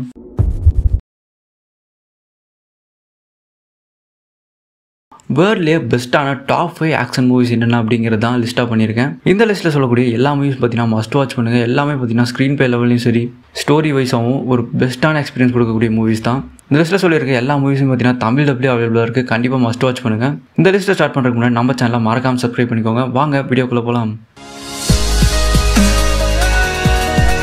நம்ம லிஸ்ட்டில் ஃபிஃப்த் பிளேஸில் இருக்க மூவி இதுனா டூ தௌசண்ட் ரிலீஸ் ஆன கிளாடியேட்டர் இது முழுக்க முழுக்க ஒரு action plus adventure category movie படத்தோட duration two hour thirty five minutes பார்த்தீங்கன்னா படத்தோட டியூரேஷன் கிட்டத்தட்ட இந்த படத்துக்கு அஞ்சு ஆஸ்கார் அவார்ட்ஸ் பார்த்தீங்கன்னா வின் பண்ணியிருக்கு இந்த படம். படத்துக்கு ஐஎம்டிபியில் வந்து எயிட் பாயிண்ட் ஃபைவ் ரேட்டிங் கொடுத்துருக்காங்க. அவுட் ஆஃப் டென்க்கு ரோட்டன் டொமேட்டோஸில் எயிட்டி பர்சன்டேஜ் இந்த படத்துக்கு கொடுத்துருக்காங்க. இந்த படம் கிட்டத்தட்ட நாலு ஓடிடியில் அவைலபிளாக இருக்குது இன்க்ளூடிங் பார்த்தீங்கன்னா தமிழ்லேயும் இருக்குது Amazon Prime Zee five Apple TV Google Play and movies சொல்லிட்டு கிட்டத்தட்ட நாலு ஓடிடி அவைலபிளாக இருக்குது எல்லாத்தையும் பார்த்தீங்கன்னா நீங்கள் செக் பண்ணி பார்க்கலாம். இந்த படத்தை ரிட்லி ஸ்காட் அப்படிங்கிறத டைரக்ட் பண்ணியிருக்காரு. இந்த படத்தை படத்தோட box office four hundred and sixty five point four million dollars பார்த்தீங்கன்னா இந்த படம் கலெக்ட் பண்ணியிருக்கு. வாங்க படத்தோட ஸ்டோரிக்குள்ள போகலாம் இந்த படத்தில் மார்க்கஸ் அர்லியஸ் அப்படின்னு சொல்லிட்டு ஒரு அரசர் இருக்காரு. இந்த அரசருக்கு தன்னோட படை தளபதியில் தன்னை மகனை விட இந்த படை தளபதியை ரொம்ப பார்த்தீங்கன்னா விரும்புகிறாரு அந்த படை தளபதி யாருன்னா நம்ம படத்தோட ஹீரோ. அவர் தான் மேக்ஸிமஸ் அப்படின்னு ஒருத்தர். இவர் ஃபைட் பண்ணுறதும் சரி இவரோட திறமையும் பார்த்து ரொம்ப வியந்து கிட்டத்தட்ட பயங்கரமாக பார்த்தீங்கன்னா அவர் மேலே ஒரு ரெஸ்பெக்டே வச்சிருக்காரு நம்ம அரசர். இதெல்லாம் பார்த்துட்டு இருக்க தன்னோட பையன் இந்த அரசரோட பையன் ஒருத்தர் இருக்கான் காமோடஸ் அப்படின்னு சொல்லிட்டு. இந்த பையனுக்கு இதெல்லாம் பார்க்க ரொம்பவே பார்த்தீங்கன்னா பிடிக்காம போகுது. இப்படியே நடந்துட்டு இருக்க சமயத்தில் என்ன ஆகுது அப்படின்னா இந்த அரசர் இருக்கார் இல்லையா இவர் தன்னோட படை தளபதியான நம்ம ஹீரோவை அரசராகணும் அப்படின்னு சொல்லிட்டு முடிவு பண்றாரு. இதை தெரிஞ்சுக்கிட்ட நம்ம வில்லன் அதாவது நம்ம அரசரோட பையன் என்ன பண்றான்னா இதை நடக்க விடக்கூடாது அப்படின்னு சொல்லிட்டு நம்ம அரசரை கொண்டுறான் அதாவது அவங்க அப்பாவையே கொலை பண்ணிடுறான். இப்படி கொலை பண்ணிட்டு அவனே பார்த்தீங்கன்னா அரசனாகிறான். இதுக்கப்புறம் நம்ம ஹீரோவையும் அவன் கொலை பண்ணும் அப்படின்னு சொல்லிட்டு முடிவு பண்றான். இந்த ஒரு கொலை முயற்சியிலேருந்து நம்ம ஹீரோ தப்பிச்சு ஒரு இடத்துக்கு கிளம்பிடுவாரு. இதுக்கப்புறம் எப்படி நம்ம ஹீரோ திரும்ப வந்து வில்லனை பழி வாங்கினாரு அப்படிங்கிறது தான் இந்த படத்தோட ஃபுல் ஸ்டோரியாவே இருக்கும். அதாவது சிம்பிளா சொல்லணும்னா இது ஒரு ரிவெஞ்ச் கேட்டகரி மூவி தான். ரொம்ப ரொம்ப பெஸ்ட் எடுக்கப்பட்ட ஒரு ஆக்ஷன் மூவி இந்த படம் முழுக்க முழுக்க பார்த்தீங்கன்னா ஒரு ஹிஸ்டாரிக்கல் ரிலேட்டட் பார்த்தீங்கன்னா ஆக்ஷன் மூவியாக இருக்கும். இப்போ வரைக்கும் இந்த படத்தை நீங்கள் பார்க்காம இருக்கீங்க அப்படின்னா கண்டிப்பாக மஸ்ட் வாட்ச் பண்ணுங்க. நம்ம லிஸ்ட்டில் ஃபோர்த் பிளேஸில் இருக்கிற மூவி எது அப்படிங்கிறது நம்ம சொல்ல வேண்டியதே இல்லை. ஆனால் அந்த அளவுக்கு ஒரு பாப்புலரான ஒரு மூவி அப்படி என்ன படம்னா John Wick part one two thousand ஃபோர்டீனில் தான் அந்த படம் ரிலீஸ் ஆச்சு. முழுக்க முழுக்க ஒரு action plus thriller category movie படத்தோட duration one hour forty one minutes பார்த்தீங்கன்னா படத்தோட டியூரேஷனாக இருக்கும் இந்த படமும் கிட்டத்தட்ட நாலு ஓடிடி அவைலபிள் இருக்குது Amazon Prime YouTube Google Play and TV and Apple டிவின்னு சொல்லிட்டு. படத்துக்கு ஐஎம்டிபிலேருந்து செவன் பாயிண்ட் ஃபோர் ரேட்டிங் கொடுத்துருக்காங்க. அவுட் ஆஃப் டென்க்கு ரோட்டன் டொமேட்டோஸில் எயிட்டி சிக்ஸ் பர்சன்டேஜ் பார்த்தீங்கன்னா அந்த படத்துக்கு கொடுத்துருக்காங்க. வாங்க படத்தோட ஸ்டோரிக்குள்ள போகலாம் இந்த ஜான் வீக் பார்ட் ஒன் படத்தை சார்ட் ஸ்டார் ஹெல்ஸ்கி அப்படிங்கிறது தான் டேரக்ட் பண்ணியிருக்காரு. படத்தோட ஸ்டோரிக்குள்ள போகலாம் இந்த படத்தோட ஹீரோ ஜான் வீக் இவர் என்ன பண்ணுறாரு அப்படின்னா படத்தோட ஸ்டார்டிங்லேயே காமிச்சிருவாங்க. என்னதுன்னா நம்ம ஹீரோவோட ஒய்ஃப் என்ன இருப்பாங்க அப்படின்னா ஒரு குறிப்பிட்ட நோயால பார்த்தீங்கன்னா அவங்க இறந்து போயிருப்பாங்க. இந்த ஒரு மன வருத்தத்தில் வாழ்ந்துட்டு இருக்க நம்ம ஹீரோ இவருக்கு ஒரு குறிப்பிட்ட நாள் கழிச்சு ஒரு கிஃப்ட் வருது. என்ன கிஃப்ட்னா அவரோட ஒய்ஃப் வந்து இறந்து போறதுக்கு முன்னாடி ஒரு லெட்டர் எழுதி வச்சிருப்பாங்க. அதை வந்து நம்ம ஜான்விக்கு கொடுக்கணும் அப்படின்னு சொல்லிட்டு அந்த லெட்டரோட சேர்த்து ஒரு நாயையும் பார்த்தீங்கன்னா கொடுத்துருப்பாங்க. அது என்னன்னா அவங்களோட ஒய்ஃப்னால இவங்க கூட நல்லா வாழ முடியல அப்படிங்கிறதுனால இந்த நாயை வச்சு முடிஞ்ச அளவுக்கு பார்த்தீங்கன்னா சந்தோஷமா பார்த்துக்கோங்க என்னோட நினைவா பார்த்தீங்கன்னா அந்த நாயை வளர்த்துங்க அப்படின்னு சொல்லிட்டு அந்த லெட்டர்ல பார்த்தீங்கன்னா எழுதி வச்சு அந்த டாகையும் பார்த்தீங்கன்னா கிஃப்ட் பண்ணியிருப்பாங்க இதை பார்த்துட்டு நம்ம ஹீரோ பயங்கரமா பார்த்தீங்கன்னா அழுகிறாரு.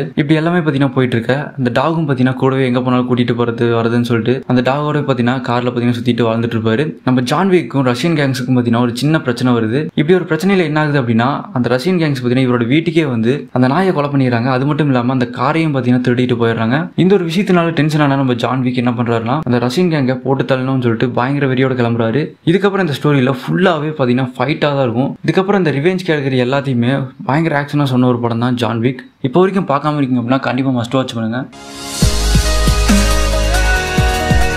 நம்ம லிஸ்ட்டில் தேர்ட் பிளேஸில் இருக்க மூவி எதுனா டை ஹார்ட் நைன்டீன் எயிட்டி எயிட்டில் ரிலீஸ் ஆன இந்த படம் ஒரு பெஸ்ட்டான ஆக்ஷன் மூவியில் பார்த்தீங்கன்னா இந்த படம் பார்த்தீங்கன்னா இப்போ வரைக்கும் லிஸ்ட்டில் இருக்குது முழுக்க முழுக்க ஒரு action plus thriller category movie படத்தோட duration two hour eleven minutes பார்த்தீங்கன்னா படத்தோட டியூஷனாக இருக்குது இந்த படத்துக்கு ஐஎம்டிபிலேருந்து எயிட் பாயிண்ட் டூ ரேட்டிங் கொடுத்துருக்காங்க. அவுட் ஆஃப் டென்க்கு ரோட்டன் டொமேட்டோஸில் நைன்ட்டி ஃபோர் பர்சன்டேஜ் இந்த படத்துக்கு கொடுத்துருக்காங்க. இந்த படமும் தமிழில் பார்த்தீங்கன்னா பக்காவாக பண்ணியிருப்பாங்க. கண்டிப்பாக மஸ்ட் வாட்ச் பண்ணலாம். ஜான் ஆம்சி டயர்மேன் அப்படிங்கிறத இந்த படத்தை டேரக்ட் பண்ணியிருக்காரு. படத்தோட ஸ்டோரிக்குள்ள போகலாம் இந்த டை ஹார்ட் படத்தோட ஹீரோ ஜான் மேக்லேன் அப்படின்னு ஒருத்தர் இருக்காரு. இவர் ஒரு போலீஸ் ஆஃபீஸர் என்ன ஆகுது அப்படின்னா இவரோட ஒய்ஃபை மீட் பண்ணி ரொம்ப நாள் ஆயிருக்கும்.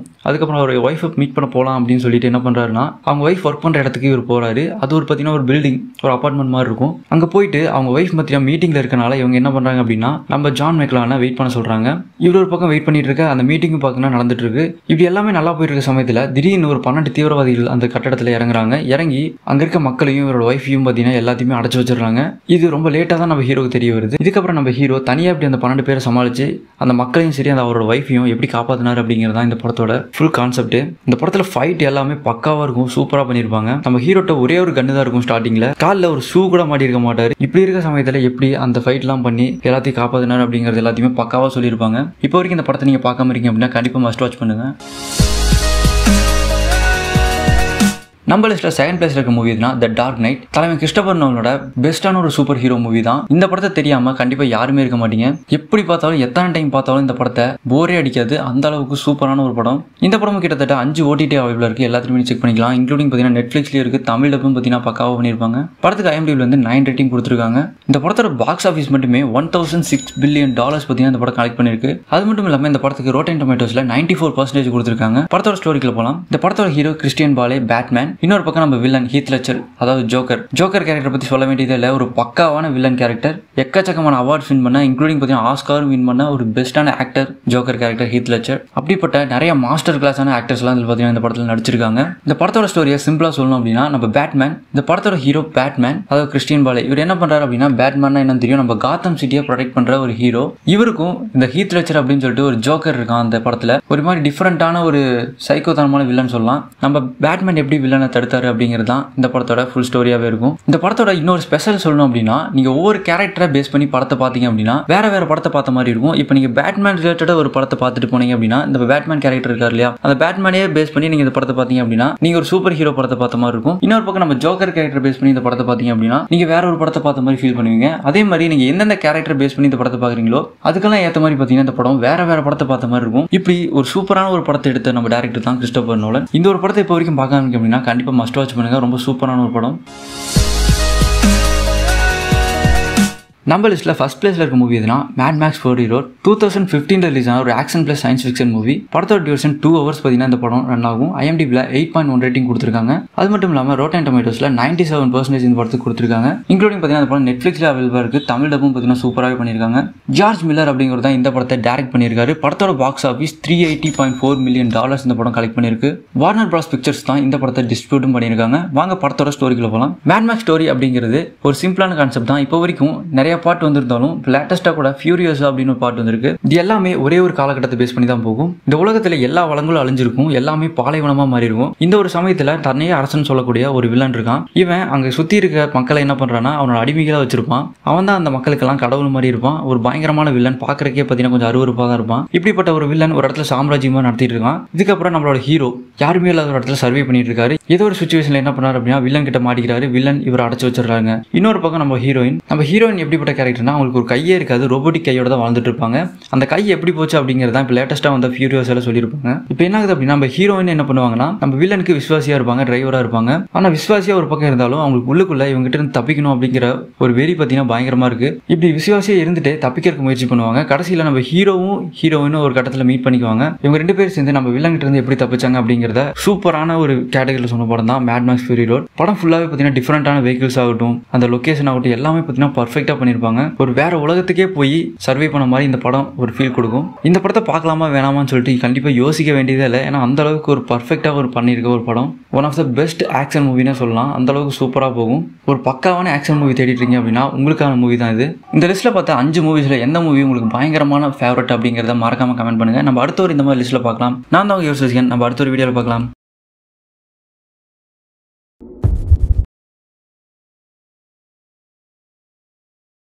வேர்ல்ட் கிளாஸியான டிசாஸ்டர் மூவிஸ் தான் இந்த வீடியோவில் பார்க்க போகிறோம் இந்த உலகத்தை எப்படியெல்லாம் அழிக்க முடியுமோ இந்த உலகம் அழிஞ்சால் எப்படி இருக்கும் எந்தெந்த மாதிரிலாம் அழியும் அப்படிங்கிற மாதிரி இந்த உலகத்தை அழிக்கிறத பற்றியே பார்த்தீங்கன்னா மெயினாக வச்சு எடுத்த படங்களை பற்றி தான் இந்த வீடியோவில் பார்க்க போகிறோம் இந்த மாதிரி படங்கள் பார்த்தீங்கன்னா எக்கச்சக்கமாக வந்திருக்கு. ஆனாலும் பார்த்தீங்கன்னா இப்போ வரைக்கும் ரிலீஸ் ஆன அத்தனை டிசாஸ்டர் மூவிஸ் இருந்து பார்த்தீங்கன்னா most of the peoples like பண்ண டாப் ஃபைவ் டிசாஸ்டர் மூவிஸோட லிஸ்ட்டை தான் இந்த வீடியோவில் பார்க்க போகிறோம் கண்டிப்பாக பார்த்தீங்கன்னா இந்த லிஸ்ட்டில் பார்க்க போகிற எல்லா மூவிஸும் பார்த்தீங்கன்னா கண்டிப்பாக தமிழ் டபிள்யூ இருக்குது மறக்காம இந்த லிஸ்ட்டில் இருக்கிற எல்லா மூவிஸும் பார்த்தீங்கன்னா ட்ரை பண்ணி பாருங்க. இப்போ வரைக்கும் இந்த லிஸ்ட்டில் இருக்கிற படம் பார்த்தீங்கன்னா நீங்கள் பார்க்காம இருந்தீங்க அப்படின்னா ஒரு பெஸ்ட்டான மூவி பார்த்தீங்கன்னா நீங்கள் மிஸ் பண்ணிருக்கீங்க அப்படின்னு தான் சொல்லுவேன். இந்த லிஸ்ட்டில் ஸ்டார்ட் பண்ணுறதுக்கு முன்னாடி நம்ம சேனல் சப்ஸ்கிரைப் பண்ண பார்த்துருக்கீங்க அப்படின்னா மறக்காம சப்ஸ்கிரைப் பண்ணுங்க. அப்போ தான் பார்த்தீங்கன்னா நான் போகிற வீடியோ உங்களுக்கு உடனுக்குடன் நோட்டிஃபிகேஷனாக வந்து சேரும். வாங்க லிஸ்ட்டை ஸ்டார்ட் பண்ணலாம்.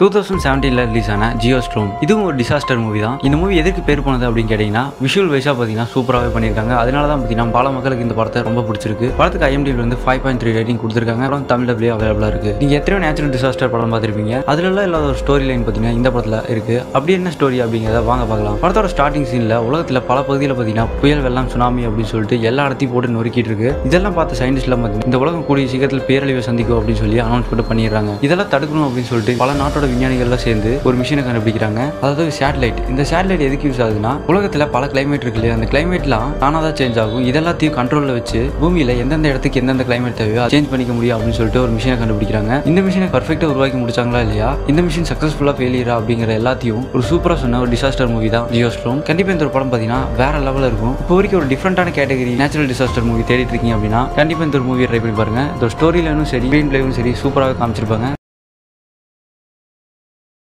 இந்த நாள் வரைக்கும் எத்தனையோ நேச்சுரல் டிசாஸ்டர் மூவி வந்திருக்கு. அதெல்லாம் கம்பேர் பண்ணும்போது one of the best movie எதுன்னு கேட்டீங்கன்னா the day after tomorrow two thousand ஃபோர்ல தான் இந்த படம் ரிலீஸ் ஆச்சு. படம் தமிழ் அப்படியே அவைலபிள் இருக்கு. படத்துக்கான ஐஎம்டிபி ரேட்டிங் பார்த்தீங்கன்னா சிக்ஸ் பாயிண்ட் ஃபோர் ரேட்டிங் கொடுத்துருக்காங்க. இந்த ஒரு படத்தை ட்ரை பண்ணி பாருங்க. கண்டிப்பா ஒரு பெஸ்ட்டான ஃபீல் தரக்கூடிய ஒரு survival category plus science fiction movie பார்க்கவே பார்த்தீங்கன்னா அவ்வளோ சூப்பராக இருக்கும் படம். இப்போ வரைக்கும் பார்த்த எல்லா மக்களுக்கும் பார்த்தீங்கன்னா இந்த ஒரு படம் ரொம்ப பிடிச்சிருக்குன்னு சொல்லலாம். படத்தோட ஸ்டோரி என்னன்னு பார்த்தீங்கன்னா உலகத்தில் சூரியனோட பவர் கம்மியாகி ஃபுல்லாக பனி பெய்ய ஆரம்பிக்குது. இந்த ஒரு பனி எந்த அளவுக்கு ஒரு தாக்கத்தை ஏற்படுத்துது அப்படின்னா ஒரு அரை மணி நேரத்திலேயே ஒரு சிட்டியே மூடக்கூடிய அளவுக்கு ஃபாஸ்ட்டாக பனி பெய்யுது. அது நிற்காம தொடர்ந்து பார்த்தீங்கன்னா பேஞ்சிட்டே இருக்கு. இதுக்கெல்லாம் நடுவில் ஹீரோ அதுக்கப்புறம் மக்கள் இவங்கெல்லாம் எப்படி இந்த பணியிலேருந்து தன்னை காத்துக்கிட்டு எப்படி சர்வே பண்ணி தப்பிக்கிறாங்க அப்படிங்கிறத இந்த படத்தோட ஃபுல் ஸ்டோரி உண்மையாலுமே இந்த மாதிரி ஒரு பனிப்பொழிவு ஏற்பட்டால் எந்த அளவுக்கு ஒரு பாதிப்பு ஏற்படுத்துமோ அது எல்லாத்தையும் பார்த்தீங்கன்னா கண்ணில் அப்படியே சூப்பராக காமிச்சிருக்காங்க. கண்டிப்பாக இந்த ஒரு படத்தை ட்ரை பண்ணி பாருங்க. உங்கள் வாழ்க்கையில் மிஸ் பண்ணக்கூடாது பார்க்க வேண்டிய ஒரு படத்தில் இதுவும் பார்த்தீங்கன்னா ஒரு பெஸ்ட்டான கேட்டகரி மூவி இந்த ஒரு படத்தை ஆல்ரெடி நீங்கள் பார்த்துட்டீங்க அப்படின்னா உங்களுக்கு எந்த அளவுக்கு பிடிச்சிருந்துச்சு அப்படிங்கிறத மறக்காம கமெண்ட்டில் சொல்லுங்கள் நம்ம லிஸ்ட்ல தேர்ட் ஆகிற மூவி எதுன்னு பார்த்தீங்கன்னா டூ தௌசண்ட் சிக்ஸ்டீன்ல ரிலீஸ் ஆன இண்டிபெண்டன்ஸ் டே ரிசர்ச் இந்த படத்தை யார் எடுத்திருக்கா அப்படின்னு பார்த்தீங்கன்னா கிட்டத்தட்ட நிறைய டிசாஸ்டர் மூவி எடுத்த ரோலாண்ட் எமரிச் அப்படிங்கிறத பார்த்தீங்கன்னா இந்த படத்தை எடுத்திருக்காரு. இந்த ஒரு படம் பார்த்தீங்கன்னா செகண்ட் பார்ட் தான். ஃபர்ஸ்ட் பார்ட் பார்த்தீங்கன்னா நைன்டீன் நைன்டி சிக்ஸில் ரிலீஸ் பண்ணிட்டாங்க. அப்போ இருந்த காலகட்டத்தில் பார்த்தீங்கன்னா நார்மலான ஒரு கிராஃபிக்ஸ் தான் பண்ணியிருப்பாங்க. அதுவும் பார்த்தீங்கன்னா வேற லெவலில் இருக்கும். படம் செம்ம ஹிட் அதோட தொடர்ச்சியாக தான் பார்த்தீங்கன்னா இந்த படத்தை எடுத்திருக்காங்க. ரெண்டுமே பார்த்தீங்கன்னா செம்மையாக இருக்கும் படம். இது பார்த்தீங்கன்னா லேட்டஸ்ட்டாக டூ தௌசண்ட் சிக்ஸ்டீன் ரிலீஸ் ஆனதால இந்த படத்தில் பார்த்தீங்கன்னா நிறைய விஎஃப்எக்ஸ் இன்னும் எக்ஸ்ட்ரா யூஸ் பண்ணியிருக்காங்க. அதனாலேயே பார்த்தீங்கன்னா இந்த படம் வேற லெவல் கிளாஸியாக செம்மையாக இருக்கும். படத்தோட ஐஎஃப்லி ரேட்டிங் பார்த்தீங்கன்னா ஃபைவ் பாயிண்ட் டூ ரேட்டிங் கொடுத்துருக்காங்க. பார்ட் ஒன்று பார்ட் டூ பார்த்தீங்கன்னா தமிழ் அவைலபிளாக இருக்கும் கண்டிப்பாக இந்த ரெண்டு படத்தையும் பார்த்தீங்கன்னா ட்ரை பண்ணி பாருங்க. வேற லெவலில் இருக்கும். ஒரு வித்தியாசமான கேட்டகரி கொண்ட ஒரு டிசாஸ்டர் மூவி தேடிட்டு இருக்கீங்க அப்படின்னா கண்டிப்பாக இந்த மூவி கண்டிப்பாக இந்த ரெண்டு மூவி பார்த்தீங்கன்னா ட்ரை பண்ணி பாருங்க. இந்த ரெண்டு மூவிஸுமே பார்த்தீங்கன்னா தமிழில் பண்ணிட்டாங்க. வாங்க படத்தோட ஸ்டோரி என்ன பார்க்கலாம். ஃபர்ஸ்ட் பார்ட்ல பார்த்தீங்கன்னா பூமி அழிக்கிறதுக்கு சொல்லிட்டு ஏலியன்ஸ் எல்லாம் பார்த்தீங்கன்னா வேற கிரகத்துல இருந்து கிளம்பி வந்துட்டு இருக்கும். கிட்டத்தட்ட இந்த பூமி சைஸ்ல இருக்க ஸ்பேஸ் ஷிப்ல பார்த்தீங்கன்னா கிளம்பி வந்துட்டு இருக்கும். இந்த ஒரு ஏலியன்ஸ் கிட்ட வந்து பார்த்தீங்கன்னா எப்படியோ உலகத்தை காப்பாத்திடுவாங்க. அதோட பார்த்தீங்கன்னா ஃபர்ஸ்ட் பார்ட் முடிஞ்சு மறுபடியும் பார்த்தீங்கன்னா இன்னுமே எக்கச்சக்கமான ஏலியன்ஸ் பூமி பார்த்தீங்கன்னா அழிச்சாகணும் அப்படிங்கிற வெறியோட பார்த்தீங்கன்னா பூமிக்கு வந்துட்டு இருக்கு இந்த ஏலியன்ஸ் கிட்ட இருந்து மறுபடியும் பார்த்தீங்கன்னா பூமி எப்படி காப்பாற்றுறாங்க அப்படிங்கிறத இந்த படத்தோட ஸ்டோரி இந்த ஒரு படத்தை பார்த்தீங்கன்னா மஸ்டா ட்ரை பண்ணுங்க. வேற லெவலில் இருக்கும் படத்தை பார்க்கும்போது பார்த்தீங்கன்னா டைம் போகிறதே தெரியாது. அவ்வளோ சூப்பராக போகும். ஏன்னா கதையும் பார்த்தீங்கன்னா அது மாதிரி வித்தியாசமான ஒரு கதைக்களம். ஏலியன்ஸை பார்த்தீங்கன்னா இந்த ஒரு கோணத்தில் பார்த்தீங்கன்னா நீங்கள் கண்டிப்பாக பார்த்துருக்கவே மாட்டீங்க. ஒரு பூமி அழிக்கிறதுக்கு மனிதனை விட பார்த்தீங்கன்னா கிட்டத்தட்ட பத்து இருபது அடி உயரமான ஒரு ஏலியன்ஸ் பார்த்தீங்கன்னா அந்த ஏலியன் மாதிரி ஒன்று ரெண்டு இல்லை கிட்டத்தட்ட எக்கச்சக்கமான ஆயிரக்கணக்கில் பார்த்தீங்கன்னா ஏலியன்ஸ் பூமி அழிக்க வருது. இப்படி இருக்க ஒரு ஏலியன்ஸ் கிட்ட எப்படி மனிதர்கள் பார்த்தீங்கன்னா போராடி உலகத்தை காப்பாற்றுறாங்க அப்படிங்கிறத அப்படியே கண்ணுக்கு எதிரே பார்த்தீங்கன்னா ரொம்ப சூப்பராக காமிச்ச ஒரு விஎஃப்எக்ஸ் படம் தான். இண்டிபெண்டன்ஸ் டே டூ ரிசர்ச் இந்த ஒரு படத்தை பற்றி உங்களுக்கு ஆல்ரெடி தெரியும் அப்படின்னா உங்களுக்கு எந்த அளவுக்கு இந்த படத்தை பிடிக்கும் அப்படிங்கிறத மறக்காம கமெண்ட்ல சொல்லுங்க. இந்த ஒரு படம் பார்த்தீங்கன்னா பர்சனலாக பார்த்தீங்கன்னா எனக்கு ரொம்ப ரொம்ப பிடிச்ச படம். இந்த படத்தை நீங்க ஆல்ரெடி பார்த்துட்டீங்கன்னா உங்களுக்கு எந்த அளவுக்கு பிடிச்சிருந்துச்சு அப்படிங்கிறதையும் மறக்காம கமெண்ட்ல சொல்லுங்க. நம்ம லிஸ்ட்டில் செகண்டாக இருக்க மூவி எது அப்படின்னு பார்த்தீங்கன்னா டூ தௌசண்ட் ஃபிஃப்டீனில் ரிலீஸ் ஆன சேன் அண்ட்ரஸ் இந்த படத்தில் நமக்கு எல்லாம் பிடிச்ச ஒரு ஹீரோவான ராக் தான் பார்த்தீங்கன்னா செம்மையாக பார்த்தீங்கன்னா ஹீரோ நடிச்சிருக்காரு. கண்டிப்பாக ராக்கை பற்றி பார்த்தீங்கன்னா உங்களுக்கு சொல்ல வேண்டியதே இல்லை. அவர் படம் எல்லாம் பார்த்தீங்கன்னா வேற லெவலில் இருக்கும். விஷுவலுக்கு பார்த்தீங்கன்னா பஞ்சமே இல்லாமல் செம்மையாக எடுத்திருப்பாங்க. இந்த மூவிக்கான ஐஎம்டிபி ரேட்டிங் பார்த்தீங்கன்னா சிக்ஸ் பாயிண்ட் ஒன் ரேட்டிங் கொடுத்துருக்காங்க. படம் ரீசெண்டாக தான் ரிலீஸ் ஆனால இந்த படம் பார்த்தீங்கன்னா சீக்கிரமாகவே தமிழ் டப் பண்ணிட்டாங்க. தமிழும் பார்த்தீங்கன்னா வேற லெவலே இருக்கும். இந்த படத்தோட சூப்பர் சீன்ஸ் அப்படின்னு சொல்லிட்டு பார்த்தீங்கன்னா யூடியூப்லையோ இல்லை ஒரு ஸ்டேட்டஸ் வீடியோவில் பார்த்துருப்பீங்க. ஏன்னா பார்த்தீங்கன்னா இந்த படத்தில் இருக்கிற அந்த ஒரு சீன் பார்த்தீங்கன்னா நின்று பேசணும்னு சொல்லலாம். அந்த அளவுக்கு ஒரு வேற லெவலான சீன் என்ன சீனுன்னு கேட்டிங்கன்னா அந்த படத்தில் படத்தோட கடைசியில் பார்த்தீங்கன்னா ஒரு பயங்கரமான சுனாமி வரும். அதை பார்க்கும்போது பார்த்தீங்கன்னா அவ்வளோ ஸ்டன்னிங்காக இருக்கும். அப்படியே இப்படியெல்லாம் ஒரிஜினலாக நடந்தால் என்ன ஆகும் அப்படிங்கிற மாதிரி நம்மளை பார்த்தீங்கன்னா அப்படியே ஃப்ரீஸ் பண்ணி காமிக்கும். அந்த அளவுக்கு பார்த்தீங்கன்னா செமையாக இருக்கும். இந்த ஒரு விஷயம்லாம் பார்த்தீங்கன்னா கண்டிப்பாக நீங்கள் மிஸ் பண்ணாமல் பார்க்க வேண்டிய படம். வாங்க படத்தோட ஸ்டோரி என்ன பார்க்கலாம். இந்த படத்தில் பார்த்தீங்கன்னா சாண்டர்ஸ் அப்படிங்கிற ஒரு சிட்டி இருக்கும். அந்த ஒரு சிட்டியில் பார்த்தீங்கன்னா எர்த்குவிக் வரப்போகுது அப்படின்னு சொல்லிட்டு பார்த்தீங்கன்னா நிறைய நியூஸ் பார்த்தீங்கன்னா பரவிட்டு வருது. நிறைய சயின்டிஸ்ட் பார்த்தீங்கன்னா அனௌன்ஸ்மெண்ட் பண்ணிடுறாங்க. இதுக்கான அறிகுறி பார்த்தீங்கன்னா கொஞ்சம் கொஞ்சமாக தெரிஞ்சுட்டே வருது. உலகம் பார்த்தீங்கன்னா கொஞ்சம் கொஞ்சமாக அழிகிற மாதிரி காமிக்கிறாங்க. அவங்க ஊர் பார்த்தீங்கன்னா பயங்கரமாக விரிசலில் விட்டுட்டு வருது. இப்படியே பார்த்தீங்கன்னா கொஞ்சம் கொஞ்சமாக அழிஞ்சிட்டு இருக்கும்போது பயங்கரமான அலை அது இதுன்னு பார்த்தீங்கன்னா வீசுது சுனாமியே பார்த்தீங்கன்னா வர ஆரம்பிக்குது. இப்படி ஏற்படுற டிசாஸ்டர்லாம் இருந்து ராக் பார்த்தீங்கன்னா அவரோட டாட்டரையும் ஒய்ஃபையும் பார்த்தீங்கன்னா எப்படி காப்பாத்துறாரு அப்படிங்கிறது தான் இந்த படத்தோட ஃபுல் ஸ்டோரி படத்தில் பார்த்தீங்கன்னா விஷுவல் பார்த்தீங்கன்னா வேற லெவலில் பண்ணியிருக்காங்கன்னு சொல்லலாம். கண்டிப்பாக இந்த ஒரு படத்தை பார்த்தீங்கன்னா மிஸ் பண்ணாமல் பாருங்க வேற லெவலில் இருக்கும். பார்க்க பார்த்தீங்கன்னா அவ்வளோ சூப்பராகவும் இருக்கும். கண்டிப்பாக இந்த ஒரு படத்தை ட்ரை பண்ணிட்டு எப்படி இருந்துச்சு அப்படிங்கிறத மறக்காம கமெண்ட்டில் சொல்லுங்கள் நம்ம லிஸ்ட்டில் ஃபஸ்ட்டாக இருக்கிற மூவி எதுன்னு பார்த்தீங்கன்னா டூ தௌசண்ட் டுவெல் இந்த உலகத்தில் இருக்கிற எந்த மக்கள்கிட்ட போய் ஒரு நல்ல டிசாஸ்டர் மூவி சொல்லு அப்படின்னு சொன்னால் கண்டிப்பாக இந்த படத்தை தான் ரெக்கமெண்ட் பண்ணுவாங்க. ஏன்னா அந்த அளவுக்கு பார்த்தீங்கன்னா விஷுவலில் நம்ம வேற லெவலில் காமிச்சிருக்காங்க. இந்த படத்தோட விஷுவலை பற்றி போலாத ஆளே இல்லைன்னு சொல்லலாம். அந்த அளவுக்கு பார்த்தீங்கன்னா சூப்பராக பண்ணியிருக்காங்க. படம் பார்த்தீங்கன்னா டூ தௌசண்ட் நைனில் தான் ரிலீஸ் ஆச்சு. இந்த படம் தமிழ் எப்படி அவைலபிளாக இருக்குது படத்துக்கு ஐஎம்டிவி ரேட்டிங் பார்த்தீங்கன்னா ஃபைவ் ஹண்ட்ரட் ரேட்டிங் கொடுத்துருக்காங்க.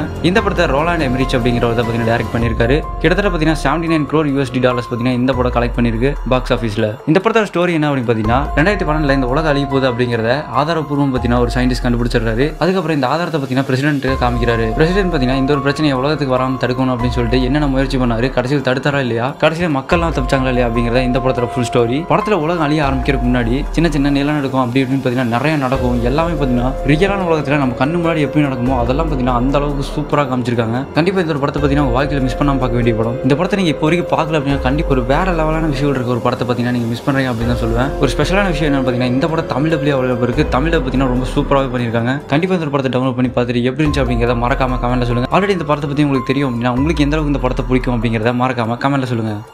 இப்போ நம்ம லிஸ்ட்டில் பார்த்த இந்த அஞ்சு மூவிஸுமே பார்த்தீங்கன்னா world best classiest disaster movies நீங்கள் எந்த ஒரு டிசாஸ்டர் மூவி தேடினீங்கனாலும் இந்த லிஸ்ட்டில் வர அஞ்சு மூவிஸ் பார்த்தீங்கன்னா இல்லாமல் இருக்கவே இருக்காது.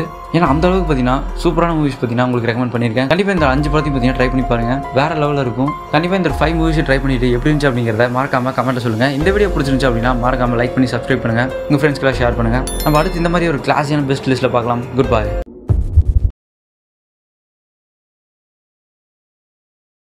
டாப் ஃபைவான கோஸ்ட் மூவிஸ் தான் பார்க்க போகிறோம் அது மட்டும் இல்லாமல் இந்த லிஸ்ட்டில் சொல்ல போகிற எல்லா மூவிஸும் பார்த்தீங்கன்னா பார்த்து பார்த்து செலக்ட் பண்ணது இருக்கிறதுலே பெஸ்ட்டாக என்டர்டைன் பண்ணக்கூடிய வகையிலான அதுக்கப்புறம் ரொம்ப பயமுறுத்துற வகையிலான இருக்கக்கூடிய கோஸ்ட் மூவிஸ் தான் பார்த்தீங்கன்னா இந்த லிஸ்ட்டுக்கு செலக்ட் பண்ணியிருக்கேன்.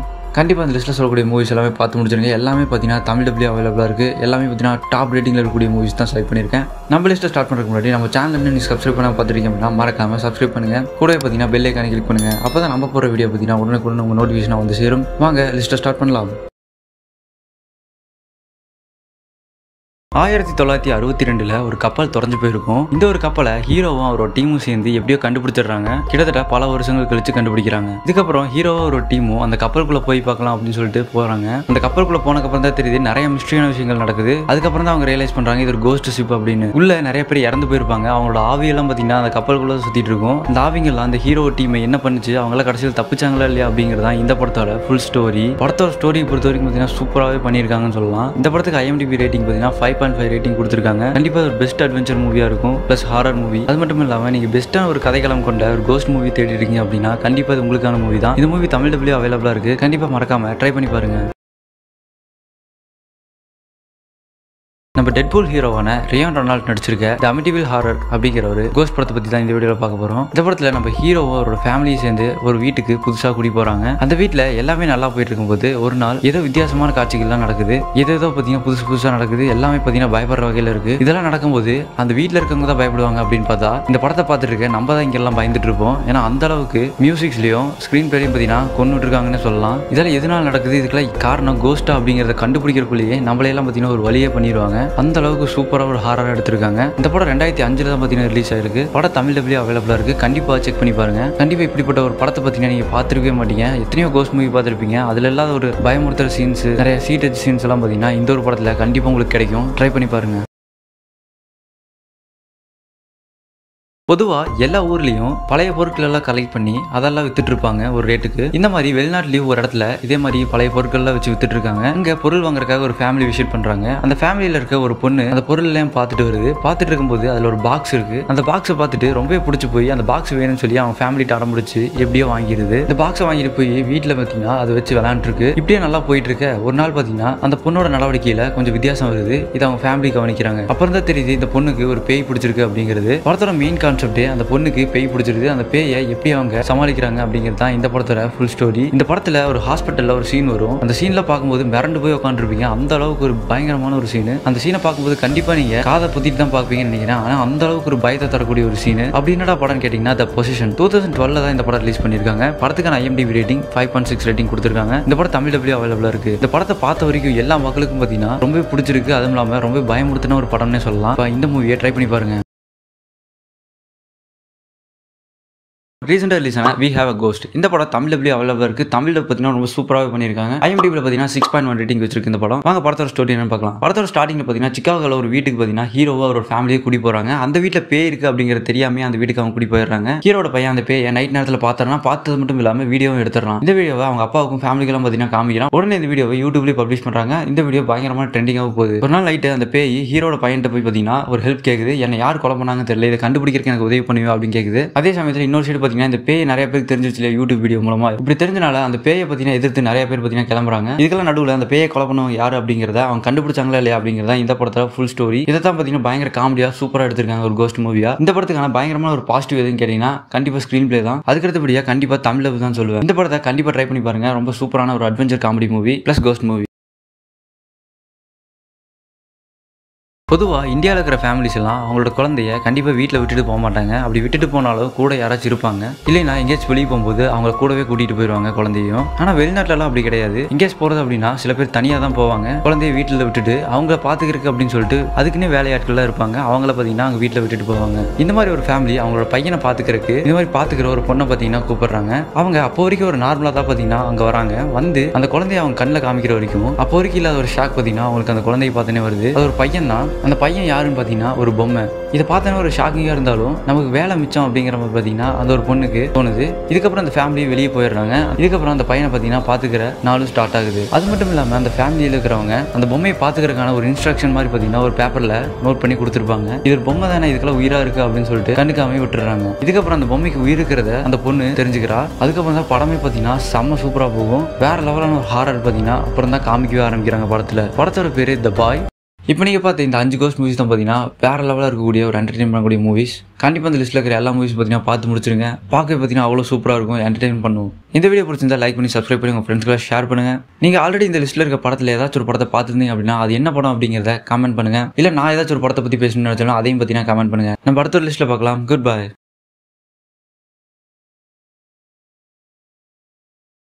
Fight Club It's not just a movie about fighting. It's a story about life, identify and the thing that control us. Our main character played by Edward Norton is just like many of us. He's stuck in a boring job, feels empty and can't sleep. He meets Tyler Durden, a wild and confident man who changes his life. Brad Pitt plays Tyler. He's everything the main character wants to be. Tyler has strong ideas about life. He believes that we are controlled by the things we own, like our jobs, houses and stuffs. They start a secret group called Fight Club, but it's not just about fighting. It's about breaking free from what holds us back. It's about feeling alive again, but slowly things start to get out of control. At first, they think fight will give them freedom, but soon the fights turn into something bigger and more dangerous. This movie has a huge twist. I won't spoil it, but I will make you think. Everything changes by the end, and you will want to watch it again. In the end, Fight Club is more than just about fights. It's about finding who you really are in the world that tries to control you. Thanks for watching my review. If you like this simple take on movies, please subscribe for more. Until the next time, stay free. Thank you. You need to forget about what you know. That's your problem. Forget about what you think you know about life,